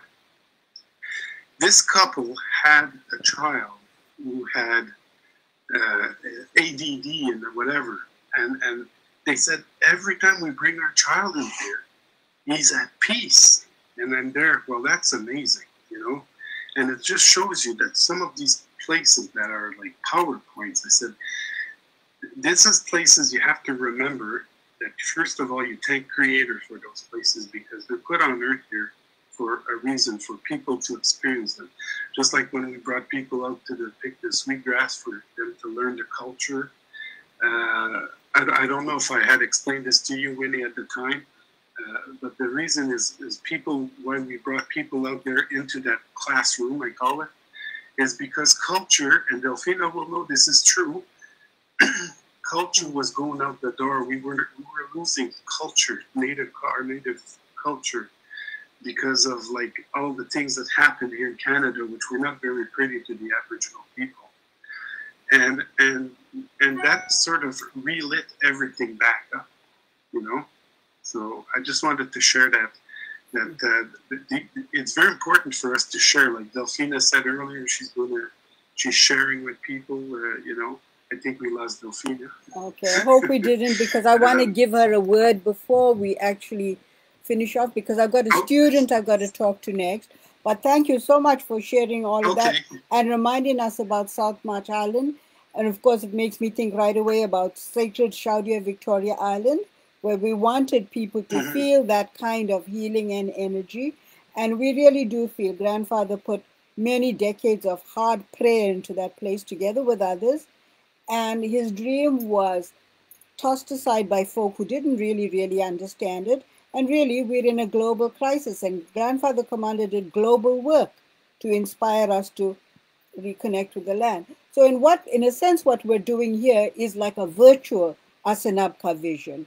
It's our virtual Asinabka Academy, and and you know we can have these kinds of conversations again and take more time to to work our way through it because I think it's critically important for folk to see it like that. But Delphine, I'm going to ask you to say a few words because then I'm going to have to go because I've got a student waiting to chat. Winnie, I'm not going to show your thing immediately after.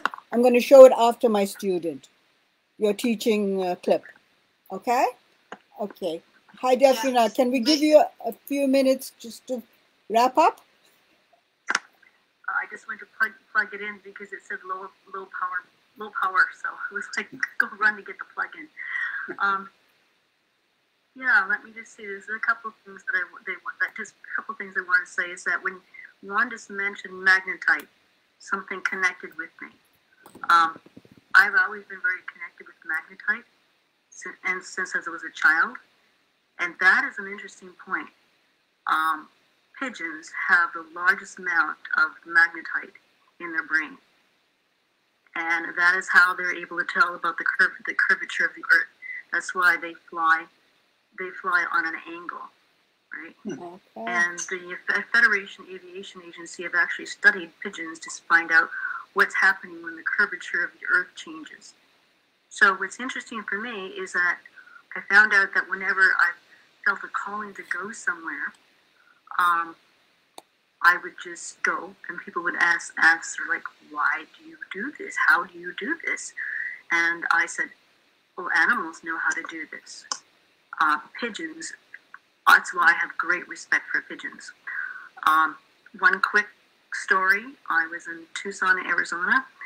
Um, this is a traditional land of the Pima and the Yaqui people, and I was in my car and I had a pigeon fly low over my windshield.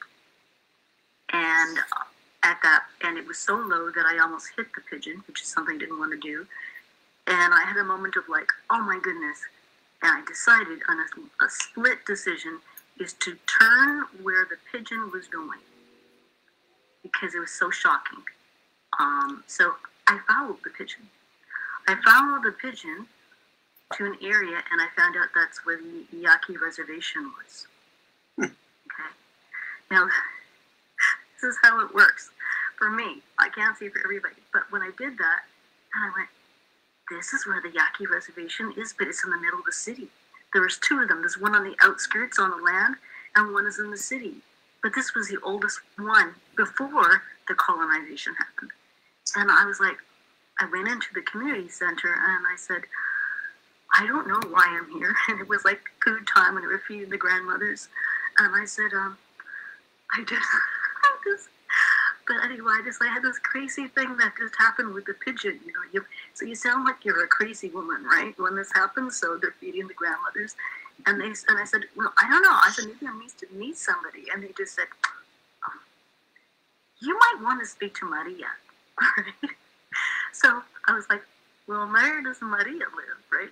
Well, she's two blocks down over here, and just go to her and just tell her that we sent you. So anyway, I walk on the door and you're going, oh my goodness, I'm going to go and just knock on the grandmother's door. So I knock on the grandmother's door and I asked to speak to see if the grandmother called Abuela called Maria. And uh, so the daughter says, yeah, this is my mother, Maria. She looks at me and then she, and then I said, I don't know why I'm here. but I said, I just had this experience with the pigeon. And then she looks at me and then she said, tell me about about you. Where do you come from? And I went, so that question was like, all the way, okay, I come from the and, you know, the Ottawa Valley and my family is Algonquin. And, you know, it's like, she said, come and have tea. Mhm.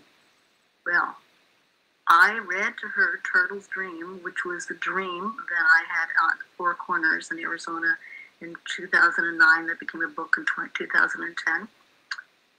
When I told her the dream, told her the story, told her, and then she wanted to know, after that, and then wanted to know my other dream that was not in the book, so she already knew.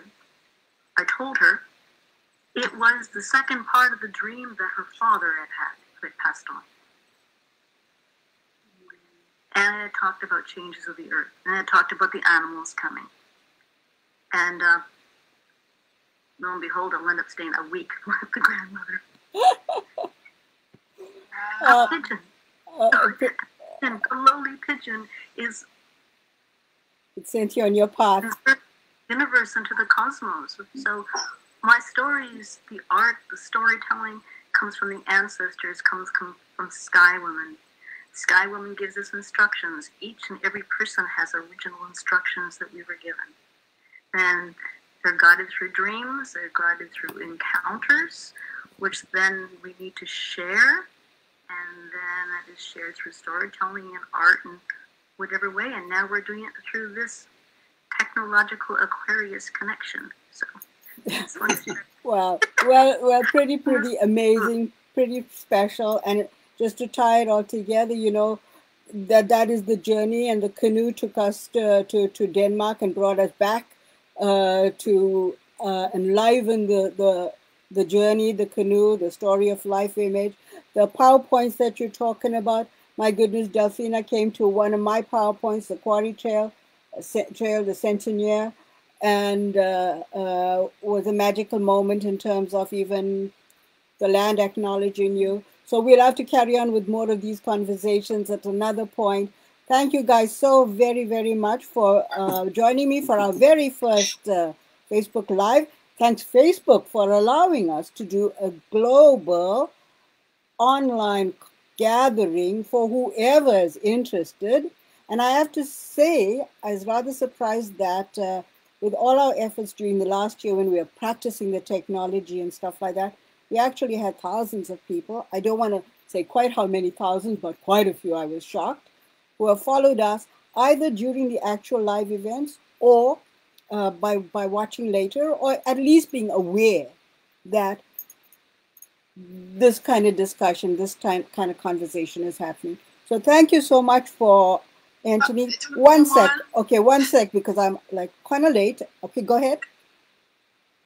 It's just I did forget to say that at my Facebook page, Tuesday night at 19 uh, o'clock Danish time, I share videos about uh, what people can do if they would like to add healing to Mother Earth or animals, and I guide them Okay. through it and, and what I have explored. It's good to know. I just want to know to say that. Okay. You know what you could do when you when we finish off here, you can just join my chat and you can add the you know the the the, the link to your Facebook page.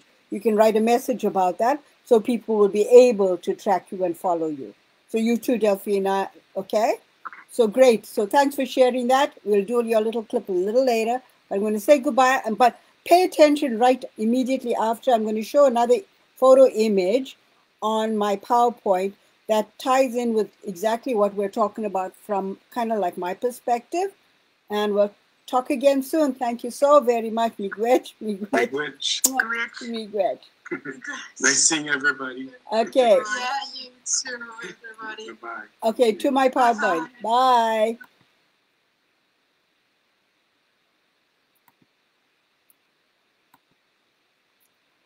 Um, wow, so let me just now hope that you're all here with us still.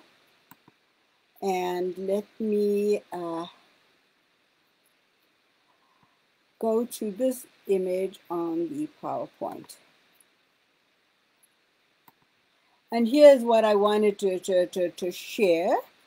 Um, this is a, a special, I consider it an ancestor rock really, in the, the, the quarry trail that uh, Delphina and I walked in. And I love that rock, and I sometimes uh, lie on it and uh, you know just see what it's going to tell me or teach me. And I've taken probably hundreds of photographs of it. And on this particular day, it let me see an eye. So I just thought that was so intriguing. Uh, I don't really know why. Um,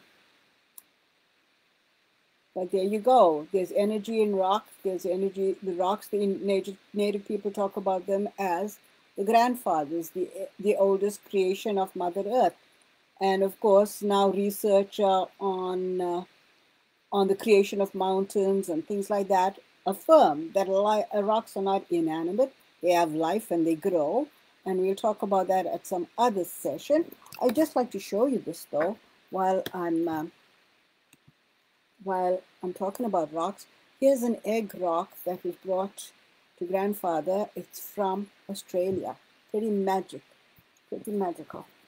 The next picture is, is of a bird that banged itself on my window and fell down below. And I went racing out and I did all sorts of things to sort of rescue it. And it, it seemed conked out for quite a while. Uh, I did smoke ceremony. I did a lot of things besides, you know, taking my face cloth and keeping it warm and all of that. And the picture below, it's hard for you to see in this small image, but right about there, you know, when it eventually took off, it didn't take off like many other birds that I normally see, but there was just a sudden burst of light, a burst of an orb as it evolved into energy. It was so magical.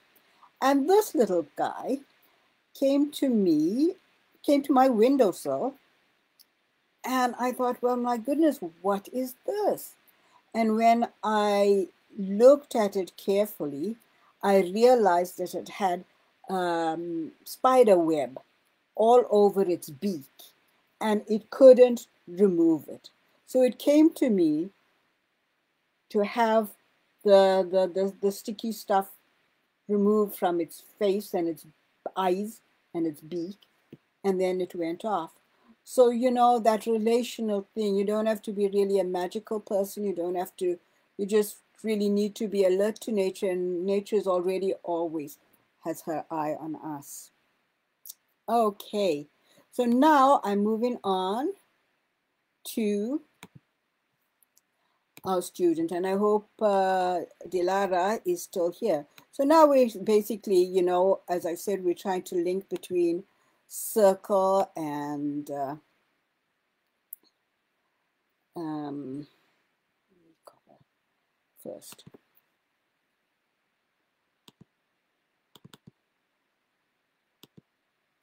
Um,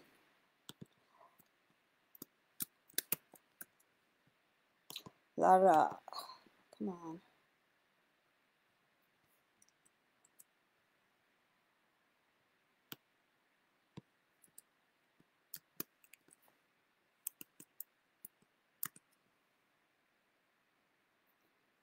This is going so slow now all of a sudden. Guess uh,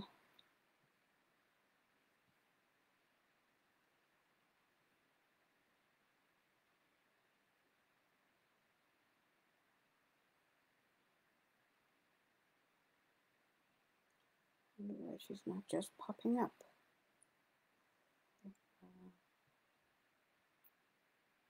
Maybe let's find you here.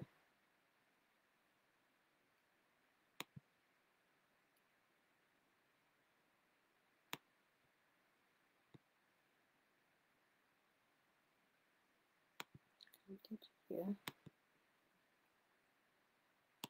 Excuse me, people, while I try to reach Lara. But uh, Delara, if you uh, uh, can hear me, please contact me then.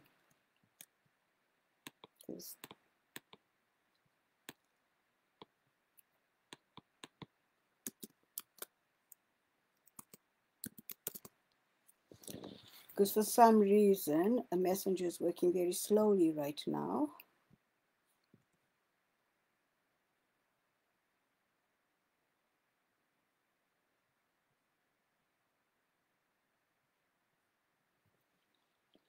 It's not presenting.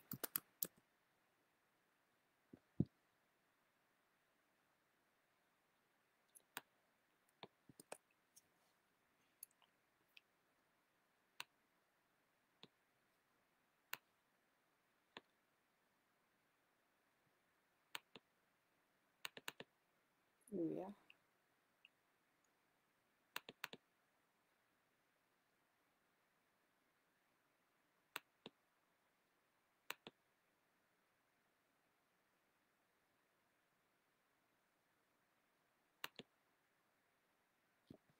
Hopefully we'll have her.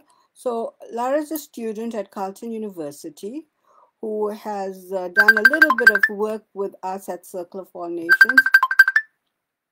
Who's this now? She's trying to call me.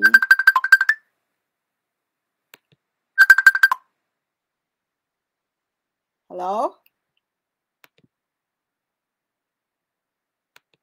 Lara. Hello? It's not good. Oh my goodness.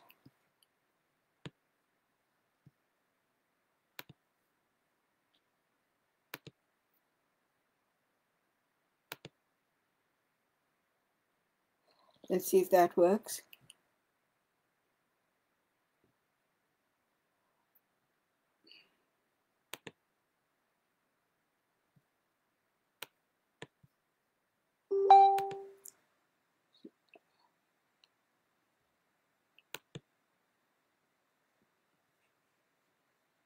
Okay. Sorry, folk. Uh, take a bathroom break. And we shall hope to get Lara on. But other than doing a little bit of work with us uh, regarding our Circle of All Nations files, she's been part of our work with our course on Oh, Circle of All. Nations book. Okay, so sorry for one thing that I'm so late, uh, but I hope you've been uh, following our conversation. Yes, I was here. And uh, here you are. Now's your moment uh, to share with us. And I was starting off by uh, showing folk that you were part of our Circle of All Nations Learning from a Kindergarten Dropout trial course over the last uh, Yeah. winter. And uh, you've uh, done amazing things with the stories and the issues that we've analyzed. Today we've talking about dream and storytelling, as you know, but we've also hit a lot of heavy issues like racism, like uh, you know, abuse of women, murdered and missing women, the criminal justice system. We've talked about a lot of heavy duty issues in the course of our course. And you Mhm. have taken some of those uh, um, stories and transformed them into amazing artwork. So, folk have already probably seen this one. Dilara, can you tell us a little bit about this? We are not all equal. Yeah. Um, should I show it? Uh, I think I'm showing. Oh, yeah. If you can show it, show it. Go ahead. Because, uh, Because I can't see the the live screen. I'm only on on your chat right now. okay, okay. So, I got it here. It's Okay. big painting. I got it here. right. So, um, how I started it was I think it was the chapter we were talking about, um, well, racism in general, and especially racism towards the the um, North American Indigenous people. And the same day, I got refused. Um, I got rejected for a scholarship from my school for the second time, and like those two um, merged, and you know, I really felt like I could personally. Um, um, feel what those people were feeling for years. I mean, not necessarily that maybe we're not having the same things, but I felt like um, what non-direct racism is like. You know, you're giving, you're told that you have so many opportunities, but how do you get to them? How do you reach them? Or are they giving them to you when you reach out to them? You know, and um, anyway, I it just just there was a lot that was um, going on in my head, and I thought we're not all equal. We're just we're trying to be. We're told that we're all equal, but unfortunately, we're not all treated. We're not all equal. We're not treated equal. We're not seen as equals. We're not thought of as equals, and we're not taught to people as to each other as equals. So there's it's probably the most like um, I, I wanted to say that first of all before I show the other paintings. I feel like there are reasons um, we do certain things. There are reasons we journal. There are reasons we paint. There are reasons we go for walks. And um, if I could explain every painting by words, I wouldn't have painted it. I would have write about, written about it. I believe that colors have their own language. I believe that our body has their own language. I believe that words obviously have their own language, but linguistics are just one of those language capacities we have. And you know, the reason I painted is is for you to look and understand. Not, I, I can't explain everything about it to you because the reason I painted it because I can't talk about it. That's that's the reason I painted it. So the most job is um like looking you know? I can't tell you like word by word what it's about. It's basically about frustration. It's about um feeling like feeling hopeless feeling like you're gonna lose it because you're trying so hard you're working so hard every day but you're just not getting where you want to get you know? It's, it's like hard, hard work doesn't always pay off. It feels unequal. So that's basically the the philosophy behind we're not all equal and I gifted it to Circle of All Nations. It was uh, one of like it was a big inspiration behind it. Thank you. And and you know uh, you presented that round about the time when uh, Black Lives Matter, when there was a lot of that kind of violence and killing happening, mm-hmm. but we were also mm-hmm. super conscious of the environmental uh, extremes that we were experiencing. Mm-hmm.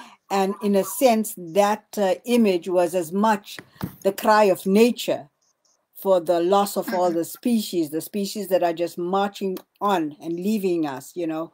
So we really are at mm-hmm. like dramatic times. And that image captured so much.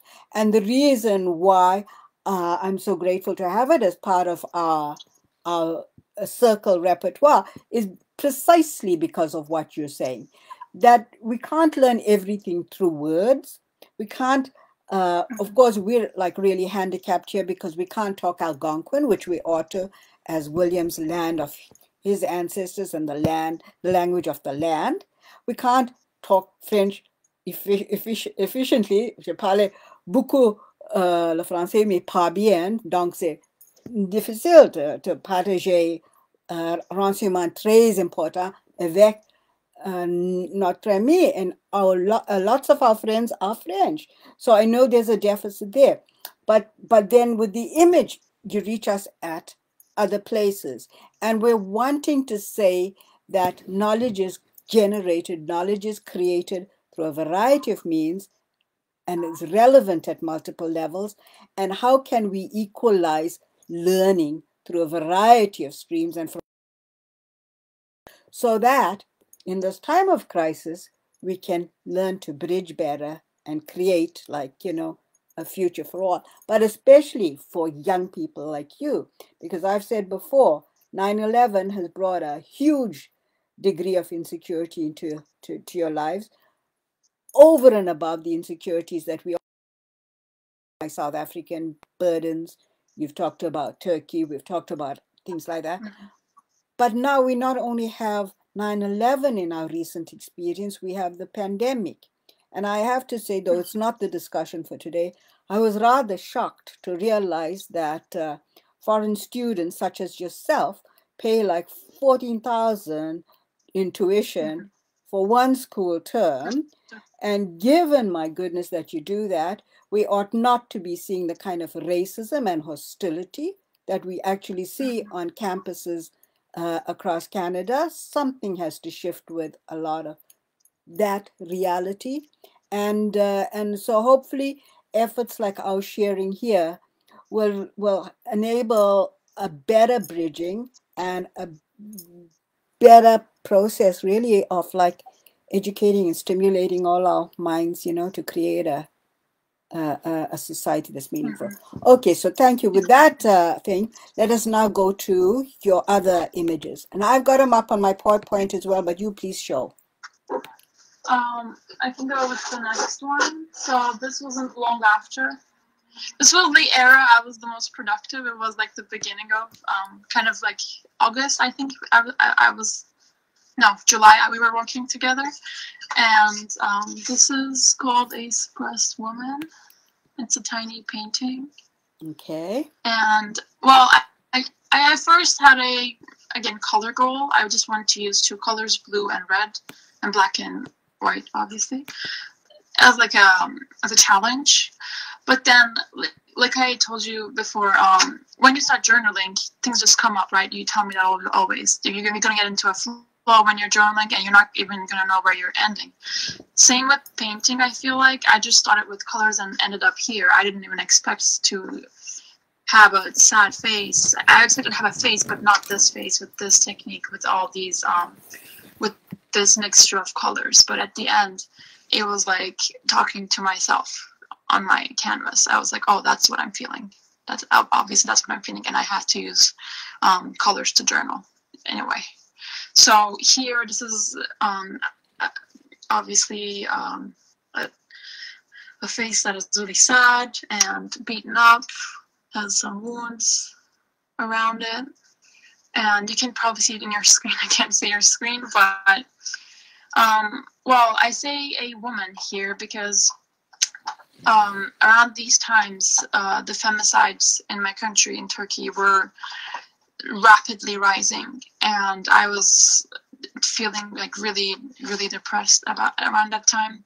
And there was the I was working with you guys. I was realizing how much we're not we're doing the exact same things like like the way people someone abuses a woman doesn't look much different than someone abusing a nature to me it's both ignorant it's both insecure and it's both it's both um, unacceptable and what we say mother earth. I'm not trying to give the nature a gender here. I'm just trying to say that i feel like there is a very um, it's very parallel to each other. Harming mother earth as, um, cutting a tree that you're not supposed to where you can go around a tree. You don't have to cut it but you're cutting it anyway because why? Because you don't know. You don't know that you can go around. You're ignorant. Or because you have other issues you haven't resolved so you just want to harm things. You want to damage things. You want to get that energy out. Also coming from ignorance.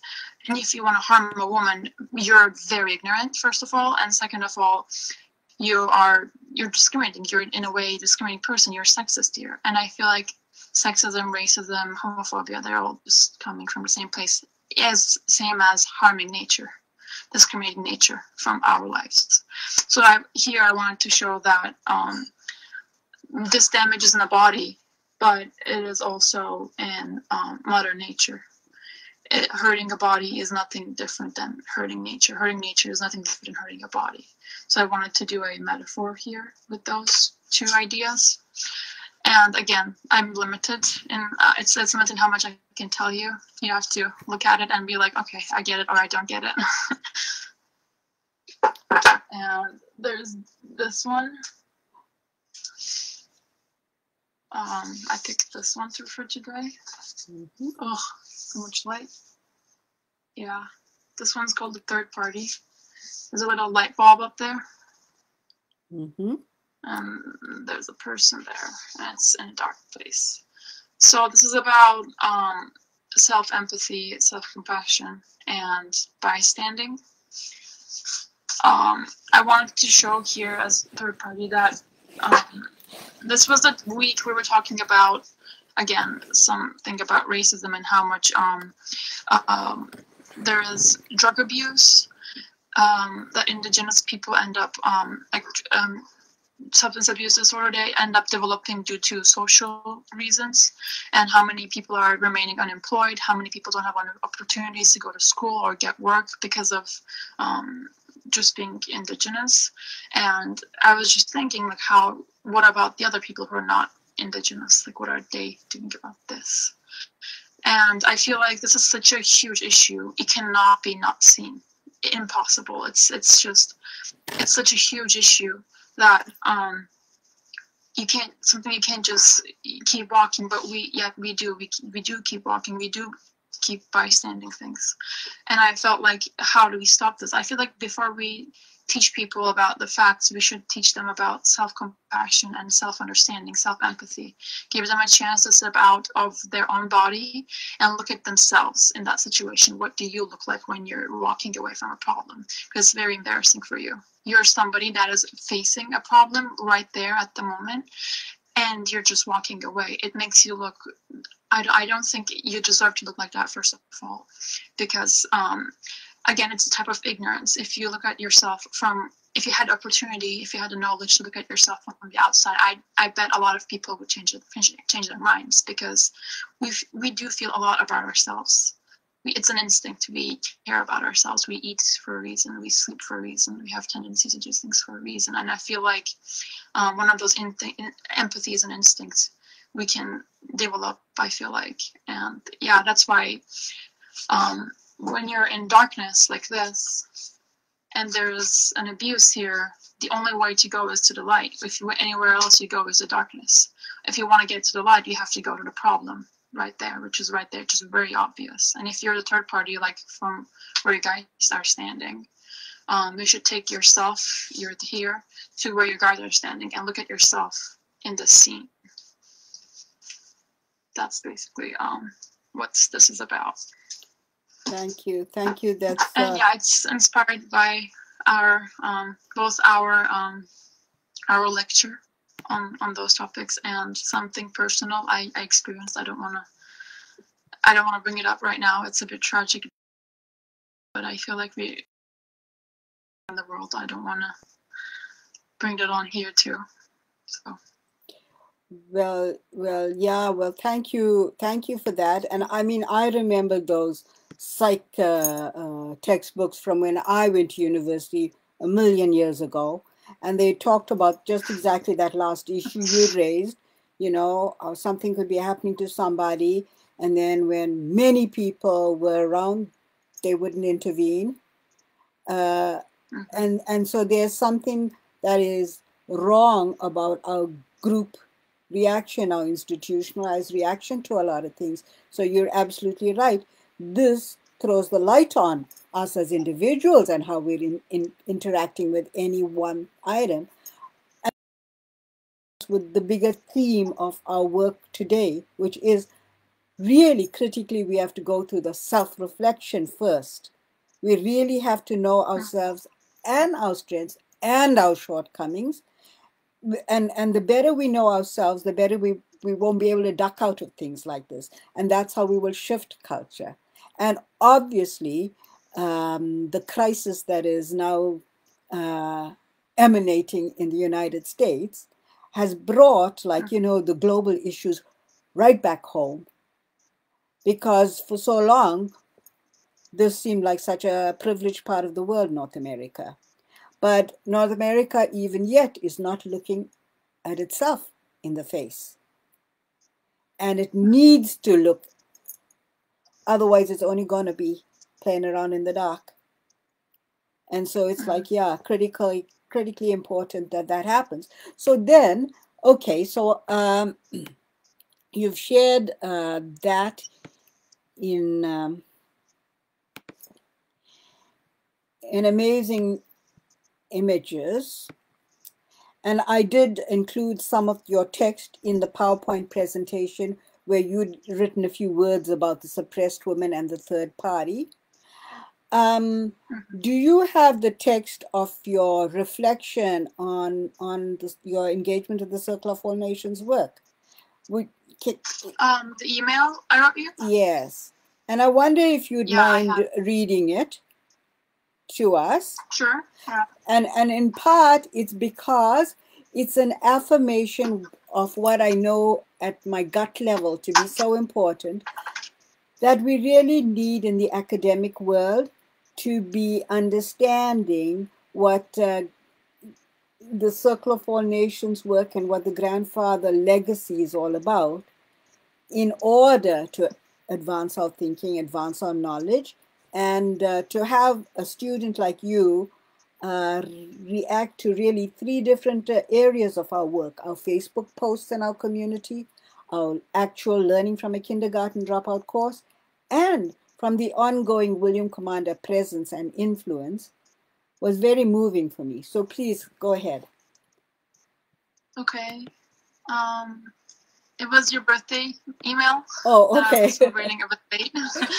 um, I'm sorry for happy birthday, Romola. I'm sorry for celebrating it late. I had should I skip these parts or? no, go um, go for it because you know actually it gives me a give a moment to explain my birthday too, right? Because you see, all my Facebook work is related to the Circle of All Nations and the Grandfather Commanda the, the nature can teach the Asinabka work. So I do five pages to focus on the various aspects of our topics to reach many people. And my birthday, you know, as it nowadays it's pretty private with Facebook and Messenger, but Karen, uh, who's like a loyal supporter of our work, who keeps our Asinabka website going, who actually did the uh, the little uh, video clip that started us off today, the grandfather drumming. She did it for me this morning so that I would be able to include it here. That's how Circle of All Nations folk work. Like they work like that. And we're all unfunded, mm-hmm. unpaid, whatever. But she posted the birthday image and then it, it circulated on Facebook. But actually it was really, really great because we were I was able to have a Facebook party with colleagues and friends from so many different places. And to show that, you know, our work is real I'm glad to celebrate my birthday. I'm glad you're now part of my birthday celebrations. But it also generates that sense of community, that Circle of All Nations community. And and uh, yeah, so it was thank everybody for their greetings. It was very special. I took the limelight off Grandfather Commanda for a change uh, for a few days, but of course we know this work is emerging from his energy. So please go ahead. Uh, I had deleted Facebook from my phone due to lack of storage space, and I saw it just now that it was your birthday. I hope you have a wonderful new age with lots of lots to learn. I want to take this time to let you know how much you have taught me in such a little amount of time.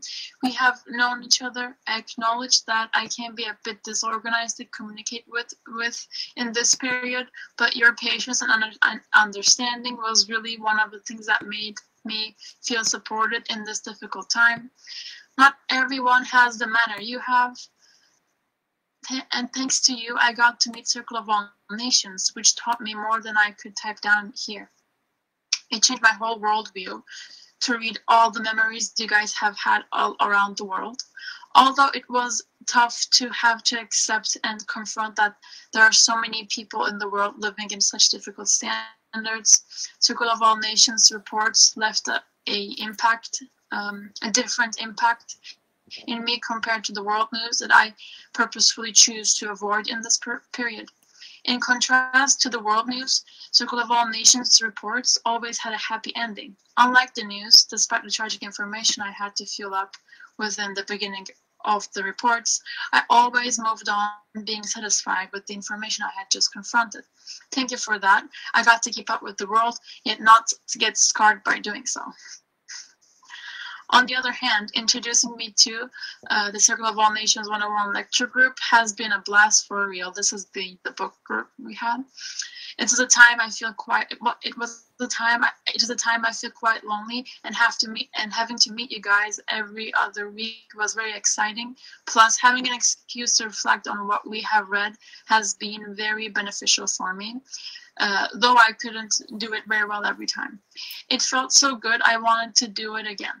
I wish we could keep up the group with the same tempo as last year, but I guess everyone got busier this year. I actually have five courses instead of four this time. But meeting you guys every month will, will will still benefit me so much. I'm not even aware of all that I'm learning from all of you guys. Meeting William Commanda in your book was absolutely vital for my future self. I think I have already expressed in my previous reflections how I feel about this work, his works, and your adventures. But there's another thing about him that him inspired me that I don't really know how to explain. One thing is to know what to know that there are people like him and you out there makes me feel hopeful, especially at times I get pessimistic about my goals. Another thing I think another thing I think has to do with the respect and admiration I have attained for the indigenous culture of Turtle Island. I don't know how to back this up enough, but maybe I will paint it sometime.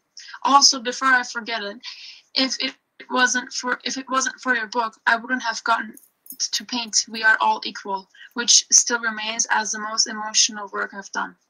I got to discover the direct communication of colors and emotions with that painting. Uh, also, I feel like my increased attention towards nature was was influenced by listening to you. Your references, you you you reference nature frequently in your speech, but I think there is the energy exchange of some sort that you have with the people you communicate that reminds the holiness of Mother Earth. I could go on and on, but I don't want to bore you with long message. Perhaps we can have a meeting on the weekend or catch up or anytime you're available or tonight after the, the Global Nations meet, meeting. Okay. Take care. Happy birthday. Okay. Yeah.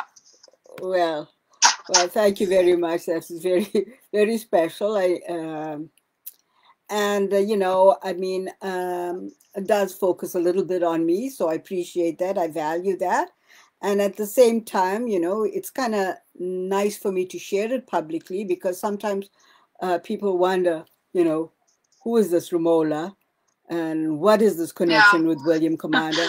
And I'm definitely the wrong kind of Indian, and I'm definitely, as you know, not a proper academic, and uh, you know, there's so you're a free spirit. A You're, free you're a bit of everything. a bit of everything.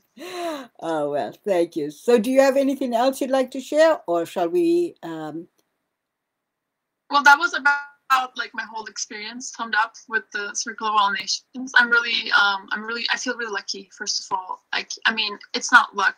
Probably there's reasons we met each other, but yeah, I feel very fortunate that I got to meet you and I got to work for Circle of All Nations, and yeah, that's that's about it. I recommend it to everyone. okay, and in the meanwhile, go tracking beaver. Yeah, yeah, I haven't seen him in a while. I'll, I'll see him tonight maybe. Okay, good. Take care. Thank you so much for waiting and joining. Bye. And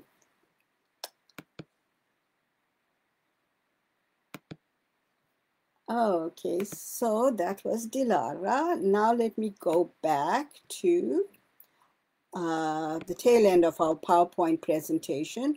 I've shown you this uh, before. This is the uh, Circle of All Nations landing site done by another one of our special students, another uh, international student.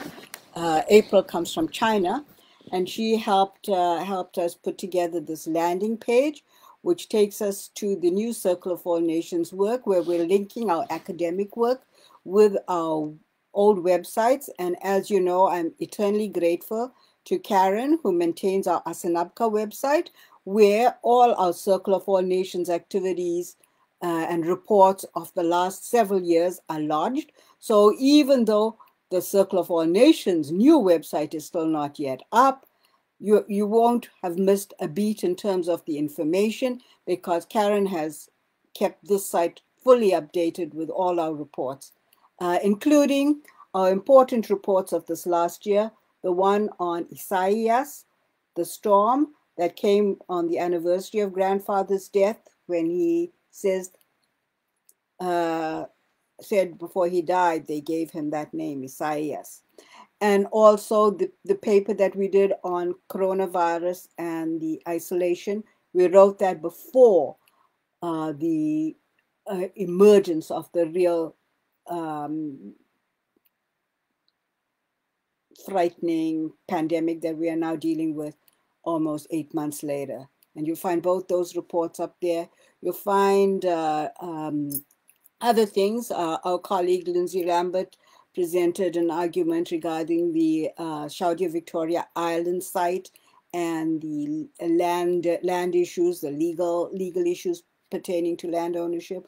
Course, you've heard many of us talk about things like that uh, Ron Goddard uh, Fournier describes as PowerPoints. And yes, Chaudière Victoria Island is an important energy point for many, many of us. And as a matter of fact, even right now, uh, colleagues from uh, Massachusetts are, are tracking sacred sites, important energy sites We've heard a little bit of discussion from our friends about the rocks, the the the uh, the the patrons, the the voices of nature that are alert to these things. So we hope that this will help broaden our base of understanding.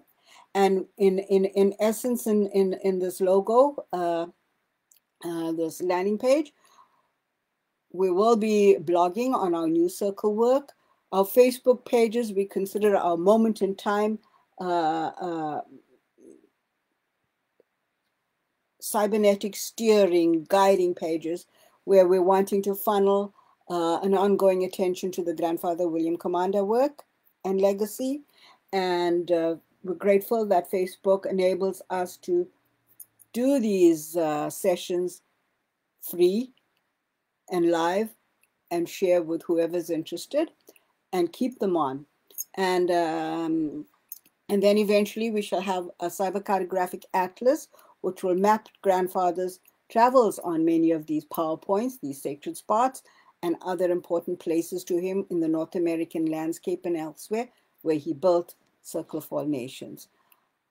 And uh, grateful to Carleton University, to my professor, uh, Dr. Fraser Taylor, and his team at the Geomatics and Cartographic Research Center for supporting so much of my research and study and uh, efforts, even though it doesn't fit in so smoothly with the, the style of universities, but it's enabled me to uh, go a long way to understand academic writing and articulating our grassroots work in that fashion.